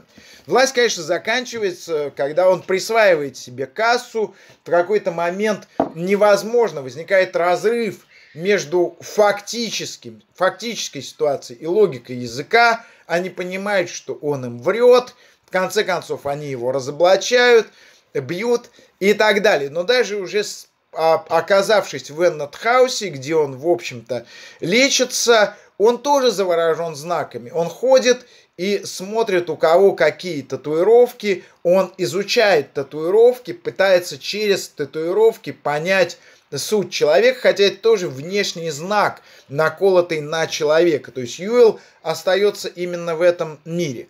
Аврил Инканденса, жена Джеймса Инканденсы, мать трех детей, это профессиональный лингвист. Вот это Джеймс и она, это э, те формы, которые формируют, в общем, э, образуют Америку. Она тотальный лингвист, великолепный лингвист, она точна в своих высказываниях, она э, требует точности от других, она все пространство облекает в слова. Если кто-то приходит к ней с проблемой, она все это переведет в нарратив, то есть подберет огромное количество синонимов, из которых ничего не будет понятно, к сути ты не приблизишься, но зато все начнешь осваивать при помощи языка.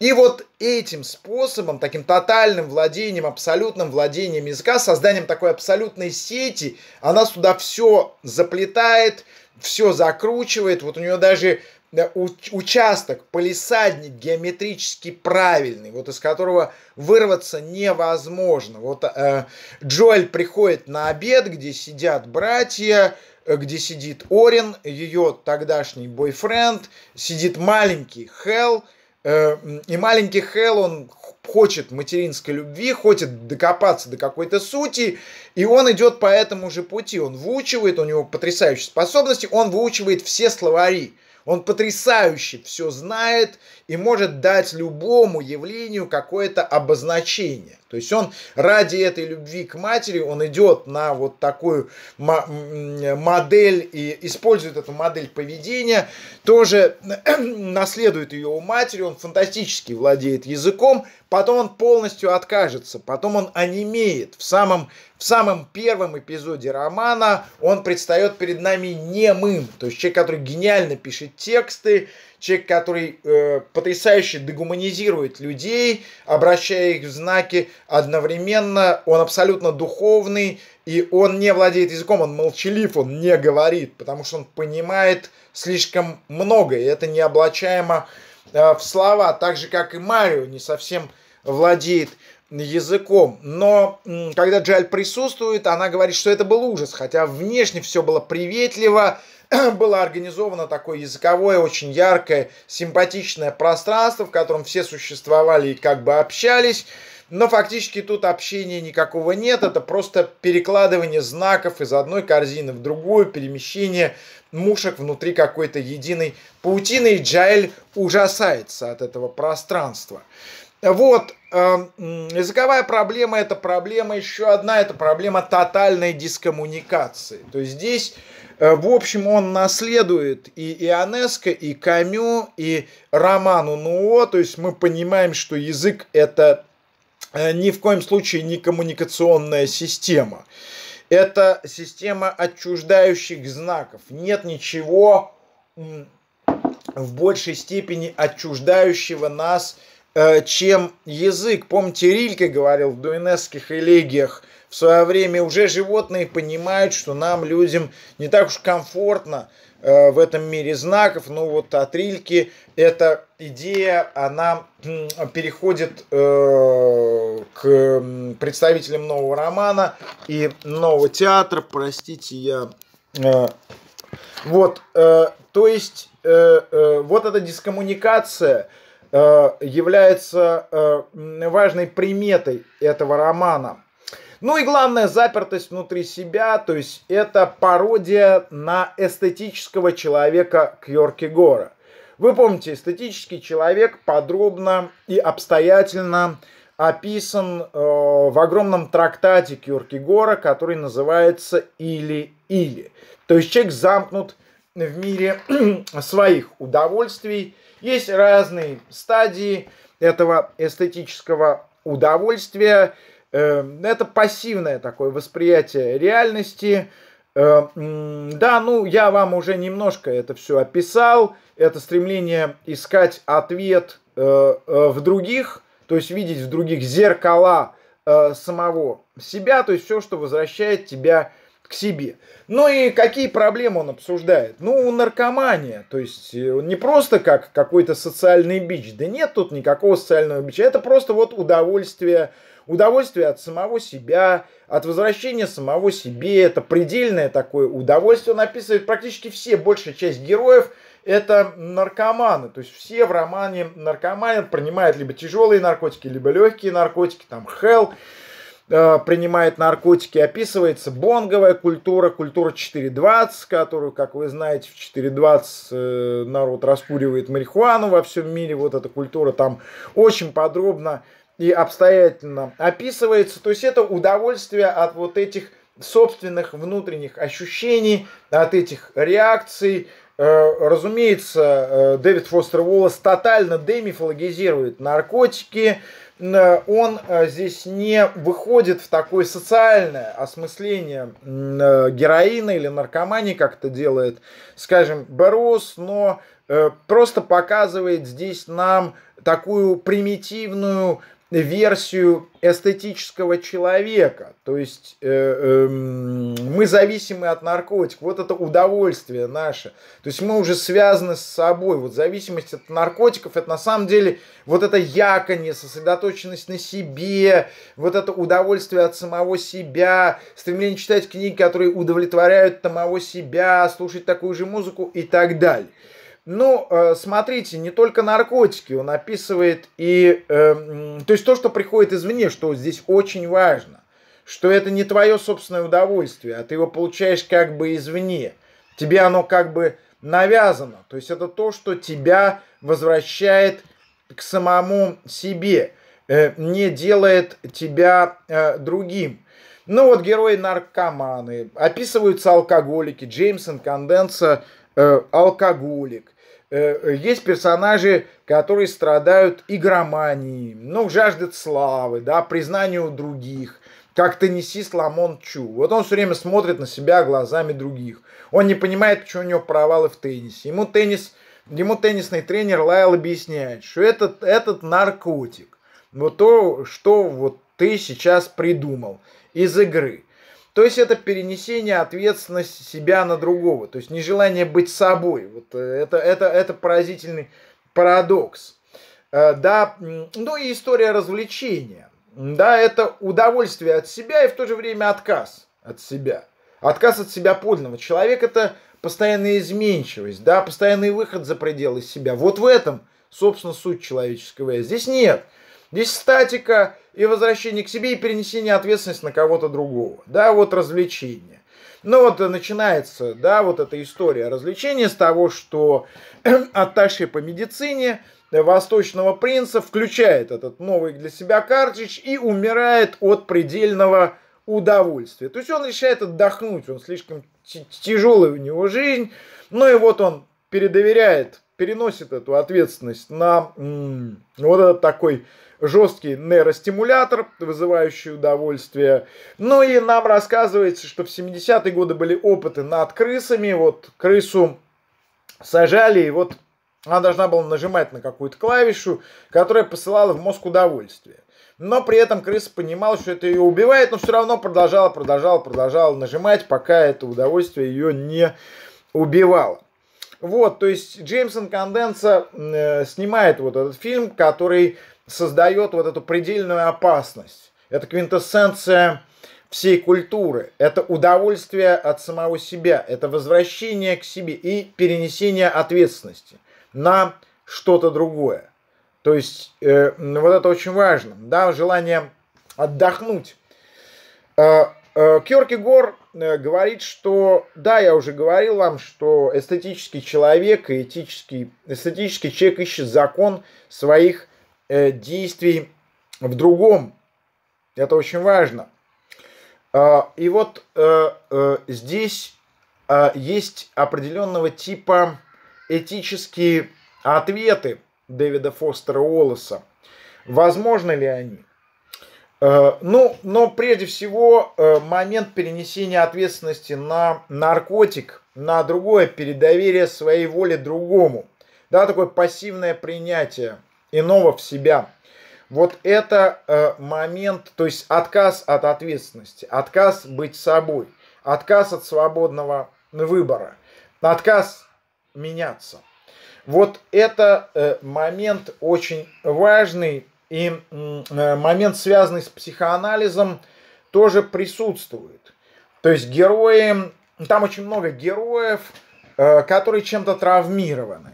Ну, кого-то насиловал отец, Э, на глазах у какой-то девушки насилуют парализованную, слабоумную девочку тоже отец. То есть там постоянные следы такого семейного насилия. Да, собственно говоря, Аврилан Конденс тоже осуществляет какой-то модель э, такого интеллектуального семейного насилия. Но очень важно, что герои понимают причины. То есть им либо они сами до этого догадываются, либо им объясняет психоаналитик их природу. Вот в том, что сейчас с тобой происходит, виновата вот это. Приходит некая девушка, она наркоманка, она объясняет, почему она такой стала. Да, потому что там отец, э, то есть, ну, потому что ее там приемный отец насиловал там слабоумную девочку. На ее глазах все время это происходило. Там или герой тоже сделался таким разложенцем, потому что к нему вечером приходил его отец и тоже его регулярно насиловал. То есть это, э, и они все это объясняют. Психоанализ это объясняет. Ты вот такой, потому что было вот так. Так это и так, в общем, понятно. То есть это момент перенесения ответственности на кого-то другого. То есть психоанализ причины не ищет. Он просто объясняет. Психоанализ с тебя э, снимает ответственность. Я не виноват. Виноват ты, твои родители. Виноват твой отец. Виноват твоя мать. Виновата школа. То есть, да, да, это правда, виновата. Но ты-то должен быть другим. Это, это очень важный момент. Вопрос в том, каков ты сейчас в настоящий момент.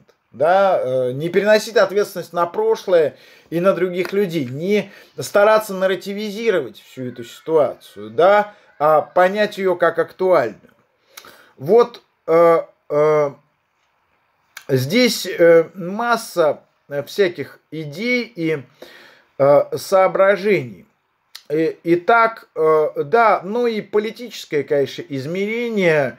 Э, вы помните, что, собственно говоря, полемика колясочников и, то, есть квебекских террористов с, Амери- с Америкой это, э, это особая полемика, это попытка уничтожить Америку ее же собственными изъянами. То есть колясочники понимают, что так они цели не добьются, но они усиливают в Америке вот эти векторы, которые без того Америку разрушают, да, нарциссичность, вот стремление ублажать себя и э, искать везде удовольствие, на самом деле уходя от себя принципиально. Ну вот при помощи зеркал, при помощи э, э, вот э, при помощи собственно, развлечения, террористы пытаются уничтожить Америку, то есть дать бой Америке на ее собственной территории. Вот это э, ты самодоволен, ты любишь быть собой, э, ты любишь возвращаться к самому себе, ну вот тебе развлечение, от которого ты умрешь, это тебя уничтожит. Ты стремишься к личному счастью, личному удовольствию, вот ты сейчас умрешь от этого собственного счастья. То есть они запускают вот эти интересные э, модели. Э, то есть это слабость э, очевидная. Э, момент отчаяния и страха. В романе тоже этот элемент присутствует разного типа отчаяния. Об отчаянии и о страхе все время говорит Кьоркигор в своей работе «Страх и трепет», Э, здесь имеются в виду самые разные типы страха и самые разные типы отчаяния в своей собственной ситуации. Отец Джеймса Инканденса э, испытывает отчаяние, потому что его отец отказывается, то есть дед в него верить, и получает он травму в теннисе. То есть он видит себя глазами отца, и это ошибка, это отчаяние от того, что отец в тебя не верит – и так далее. Здесь такая отсылка тоже к Джону Чиверу, замечательному писателю. Вот в, в рассказах Джона Чивера герои исключительно смотрят на себя глазами других. То есть э, э, другой оптики у них нет. В этом и прикол Чивера, в этом его величие. То есть умение продемонстрировать, как мы смотримся в глазах других. Как мы видим себя глазами других. Да, и ты всегда в глазах других видишь себя, как правило, неудачником, разумеется. Вот, э, вот, э, тем не менее, вот эти семиозисы, вот эти четкие пространства, они начинают видеть разрывы. У них начинается разрыв. То есть первая модель разрыва это когда Аврил Инканденса создает такой геометрический полисадник. Здесь все упорядочено, здесь все логично. И вдруг появляется один из ее сыновей и жует плесень, да, какой-то заплесневелый кусок. То есть появляется элемент, разрушающий эту логику, просто ее полностью ломающий. То есть плесень это какой-то знак какого-то хаоса, чего-то совершенно иного, совершенно потустороннего. Это вызывает ужас у э, героев. Э, э, э, Джон Дэй играет на скрипке. И э, в какой-то момент скрипка приходит в резонанс с окружающим миром и рождает ужас. То есть это присутствие иной реальности, не связанной с человеческой, реальностью потусторонней, чистой реальности с Бога, Бога, э, да, которая несовместима с человеческим миром. То есть ты видишь нечто, несовместимое с человеческим миром, видишь иное. И вот это рождает в тебе ужас э, и страх. Э, э, вот э, Инканденса снимает фильм «Американский век через кирпич». То есть там просто тянется такой звук, и вдруг великолепный звук, восхитительный, э, гасится пальчиком ребенка, и рождается кошмарный звук. То есть присутствие чего-то несовместимого с символическим, с этим пространством знака. То есть все время показывается э, в романе э, страх от ощущения иррационального. Там э, Стайс, например, такой персонаж, жалуется, например, что кровать его по комнате перемещается. То есть он предпринимает разные шаги, чтобы кровать оставалась на одном и том же месте, пока ему один из тренеров не говорит, что не надо недооценивать вещи. То есть что это значит? Не надо считать, что все так логично, как написано в человеческих книжках. Не надо считать, как все то, э, что написано в твоем сознании, это правильно. Вещи могут жить и существовать своей собственной жизнью сообразно со своей собственной логикой. И твоя собственная версия мира э, э, отнюдь не значит, что все в нее может укладываться. Вот еще один важный момент, э, тоже принципиальный, это боль, которая посещает героев романа. Наркоманы, когда отнимается наркотик, они испытывают адскую боль. Там Кейт Гомперт, допустим, ей говорит, вы хотели сделать себе больно, когда она э, покончила с собой. И мы понимаем, что он, ну, и она тут же это все разоблачает, говорит, что что значит больно, да? Э, э, я хотел сделать себе больно. Да нет. Я хотел наоборот избавиться от боли, потому что мое тело это адская боль. Моя психика это боль. Я не могу в этой боли все время находиться. И вот э, здесь очень важный такой разговор сквозь десятилетия с Абдайком. Э, э, а Абдайк один из важнейших авторов для Дэвида Фостера Уоллеса. Абдайк, э, э, собственно, Абдайку он посвящает свою такую... Это один из любимейших писателей Дэвида Фостера Уоллеса и одновременно одним из тех авторов, которых он яростно критикует. Да, он публикует очень, как сказать, нелицеприятную рецензию на э, позднего Абдайка, обвиняя позднего Абдайка в солипсизме, хотя продолжая восторгаться его ранними романами, кентавром, фермой и кроликами. Но, э, э, разумеется, тут нельзя, кстати, не согласиться, надо сказать, с Дэвидом Фостером Уоллесом. И мы понимаем, что Дэвид Фостер Уоллес имеет право такое писать про Абдайка, потому что он бесконечно любит и бесконечно понимает Джона Абдайка. Вот его ругательная рецензия это ну, совсем не то, что современные ругательные рецензии. Вот Абдайк, да, и боль у Абдайка. Что значит боль у Абдайка? Боль – это лейтмотив всего его романа «Кентавр». Э, для чего проникает боль в человека? То есть э, э, боль тебе показывает, кто есть ты на самом деле. То есть она обнаруживает в тебе тело. Оно тебе предъявляет твое же собственное тело, которое ты раньше не замечал. То есть твое тело является телом среди других жизненных форм. Но ты-то так не считаешь. Ты живешь умом, ты живешь интеллектом, ты отчужден от жизни, ты живешь в некой правильной логике или в логике собственных каких-то наркотических, галлюцинаторных ощущений или отравляя себя или наркотиками, или э, сильным интеллектом, и боль возвращает тебя к реальности. Боль, боль делает тебя э, собой. Ну, собственно, правильно. Она тебе показывает, что у тебя есть тело, у тебя есть э, руки, ноги, что ты одна из возможных форм. Вот э, э, эту тотальную боль герои пережить не могут. То есть они не могут принять себя. Да, им нужно существовать в каких-то статичных, иллюзорных э, образах Э, себя самих. То есть тотально реальность принять невозможно. И принять самого себя нельзя. То есть э, там Кейт Гомбард просит, чтобы ей сделали там э, электротерапию, чтобы эту личность изменили. Она просто не хочет быть вот этой личностью, не хочет быть собой.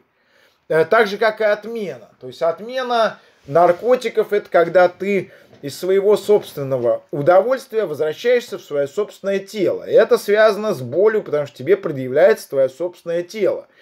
И э, вот этот э, момент э, очень э, как бы важен. Наступает вот эта тотальная боль. Э, вот э, Тони Краузе, это интересный эпизод, э, где подробно описываются психологические и метафизические процессы, которые возникают в сознании человека, когда отменяются наркотики. То есть, во-первых, разрушаются все социальные фиктивные связи. То есть человек становится один. То есть он возвращается себе. И потом приходит боль. То есть он ощущает себя мышцами, ощущает свой скелет, ощущает себя, э, то есть из всех его отверстий вытекает, то есть он э, эм, все у него не держится, ни сверху, ни снизу. То есть какая-то такая пародия на Уитмана, такой поток жизни. Потом он видит э, муравьев, то есть такой намек на андалузского пса и так далее. Э, каков э, возможный этический ответ этому самолюбованию, э, желанию жить в собственных эмоциях, ощущению, вот этому нарциссизму, тотальному, иронии над иронией? Какой здесь есть ответ? Ну, этический ответ Кьоркегора и Уоллеса. То есть это этический ответ, он важен прежде всего, э, этический ответ, э, я уже сказал, э, здесь тоже многослойный. Джеймсон Конденса пишет, снимает фильм, который нам подробно пересказывается, он называется «Помаши бюрократу на прощание». Вот бюрократ некоторый, который бежит, он боится опоздать. Если он опоздает, то его уволят, он на себя смотрит глазами начальства, такого глазами, то есть выглядит в своих собственных глазах, ну, успешным человеком, хочет выглядеть в глазах чужих и расторопным. Ну и вот он на перроне сталкивается с мальчиком, э, мальчик падает, э, все рассыпается у этого мальчика из пакетов. И вот э, выбор. Какой выбор? Либо плюнуть на это все, вскочить в поезд, Потому что тогда ты успеешь на работу, либо помочь этому э, милому мальчику. И он выбирает второе неожиданно. То есть он действительно делает выбор. Да, он в этот момент э, становится именно собой настоящим, а не собой как частью некой схемы э, умственной и интеллектуальной. Он совершает некую жертву, да, он жертвует собой. Он отрекается от своего я. То есть это такой очень важный этический шаг. Это не религиозный шаг. Я хочу это подчеркнуть. А этический шаг. Да, он жертвует собой. А, а, Хелл, э, я уже сказал, э, да, Штит, один из таких тренеров, а, вот, который тоже говорит о необходимости жертвовать э, своим я. Он рассказывает принцип на таком ломаном английском языке, в этом романе, он рассказывает о принципе игре в теннис.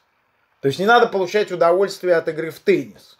Не надо э, ждать, что тебе похлопают. Когда ты играешь в теннис, ты должен быть игрой. Ты должен быть ракеткой. Ты должен быть мячом. Ты должен потерять себя вот в этом теннисе. То есть ты должен осуществлять некую миссию – ты должен быть проводником игры. Игра должна осуществляться посредством тебя. Ты должен быть вовлечен в игру. И это сделает тебя как бы успешным и мощным. Да, многие э, э, мальчики не в состоянии уже хорошо играть, потому что они как бы любуются собой, получают. Есть, а вот стать игрой. Не просто играть, а быть в этот момент игры, превращаться игры. То есть игра имеет такой религиозный, в общем, смысл, отрицающий личность. Но мы понимаем, что Штит разговаривает на таком немецко-английском, тут мы начинаем видеть такую угрозу человеческому я и признаки вот высовывающегося фюрера из э, этого, э, э, в общем, остроумного решения проблемы. здесь тоже, в общем, передоверие очень важно. Важно также и рассуждение Джеймса Инканденса о Марлоне Брандо. Кто такой Марлон Брандо? Рассказывает отец Джеймсу Инканденции. Это внешний бунтарь, да, человек, который бунтует против вещей, разбрасывает их и так далее, ищет выход за пределы самого себя. Но на самом деле нет. На самом деле Марло Брандо атлет. Он как раз чувствует, он не осторожен с вещами. Он э, чувствует вещи, чувствует их пластику. Он сродни этим вещам. Но он растворен как бы в потоке тел. Он тело среди других тел, именно поэтому он так легко общается с вещами. То есть это не совсем нонконформизм, это как раз такая тотальное э, принятие жизни. Ну, наконец, ответ, этический ответ Дона Гейтли. Дон Гейтли бывший наркоман, бывший садист, бывший убийца. Теперь он работник Эннетхауса. То есть он э, э, следит за дисциплиной, поддерживает там дисциплину. Два раза в неделю он едет куда-то мыть полы.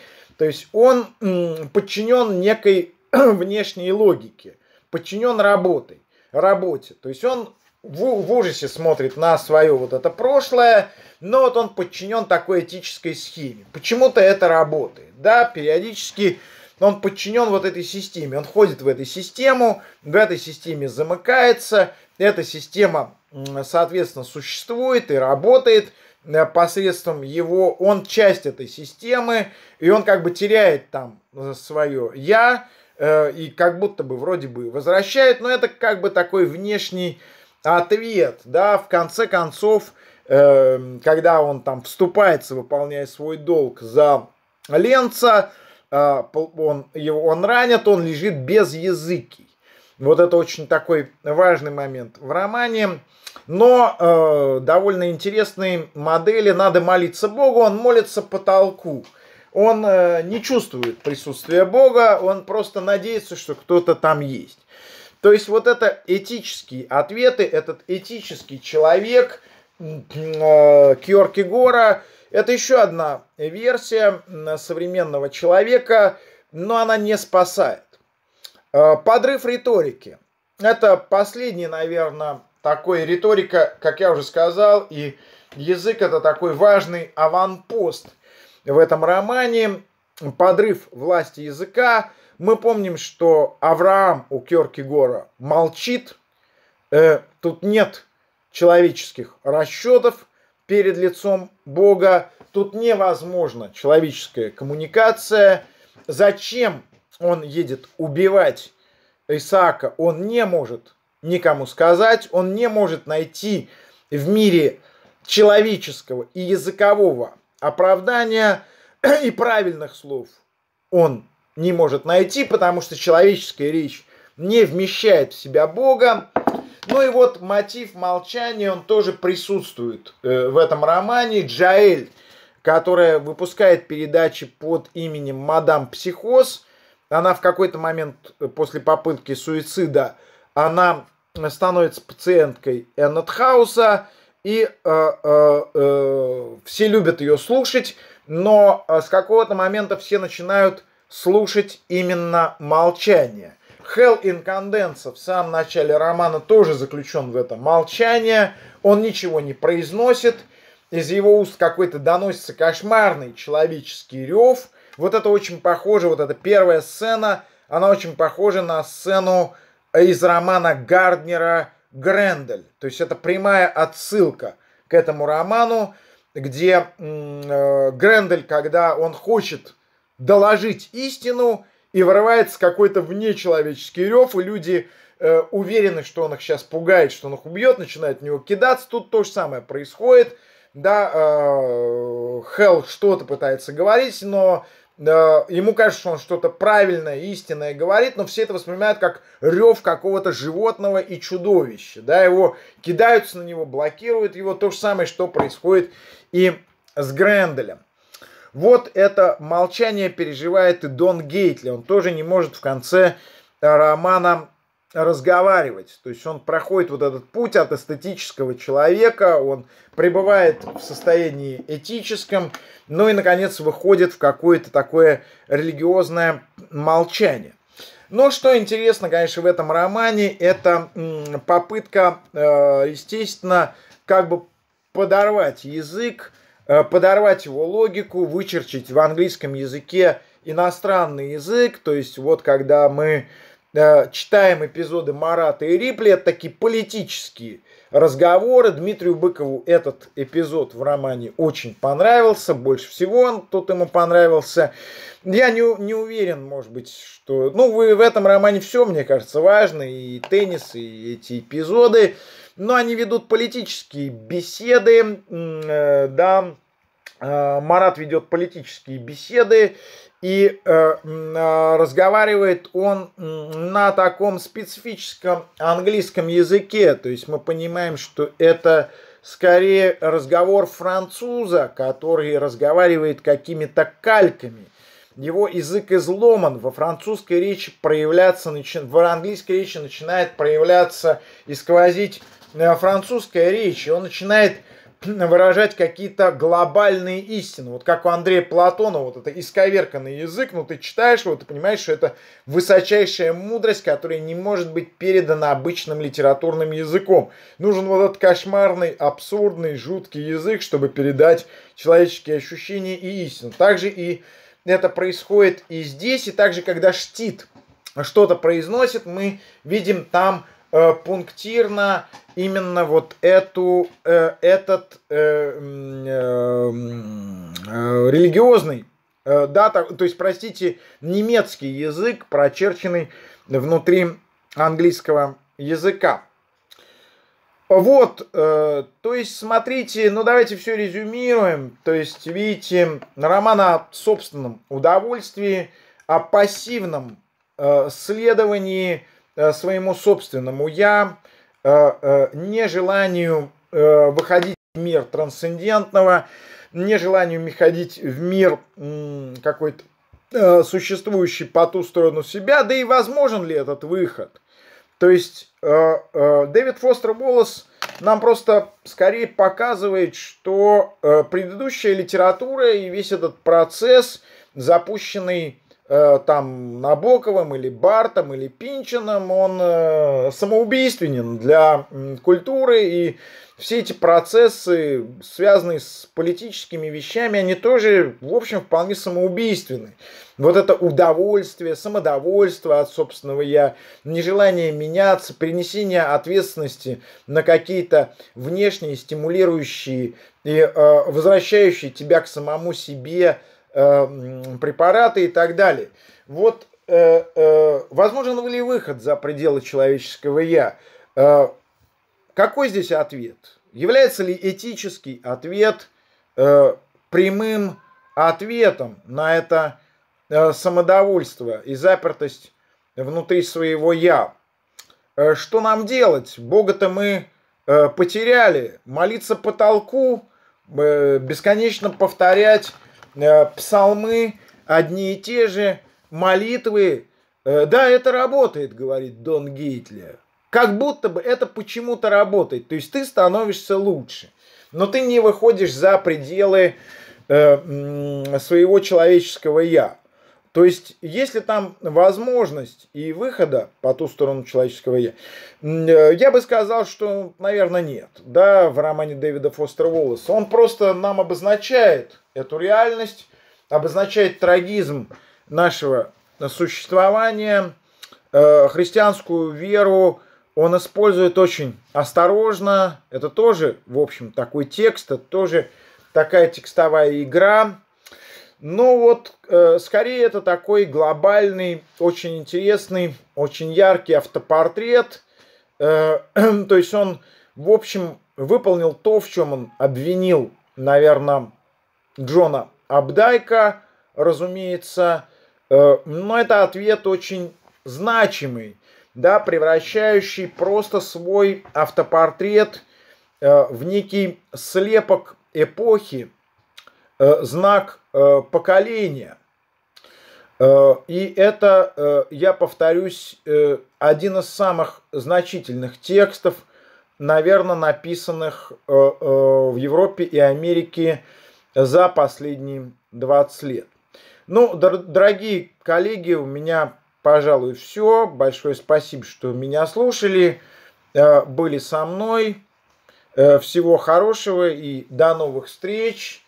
У нас, в общем, будут еще встречи на странице в музеях Набокова. Если кто-то хочет уже персонально со мной пообщаться, э, то заходите в Аствацатуров клуб э, в Инстаграме. Там я э, раз в неделю читаю лекции. У меня там есть свой клуб. Я читаю, он закрытый.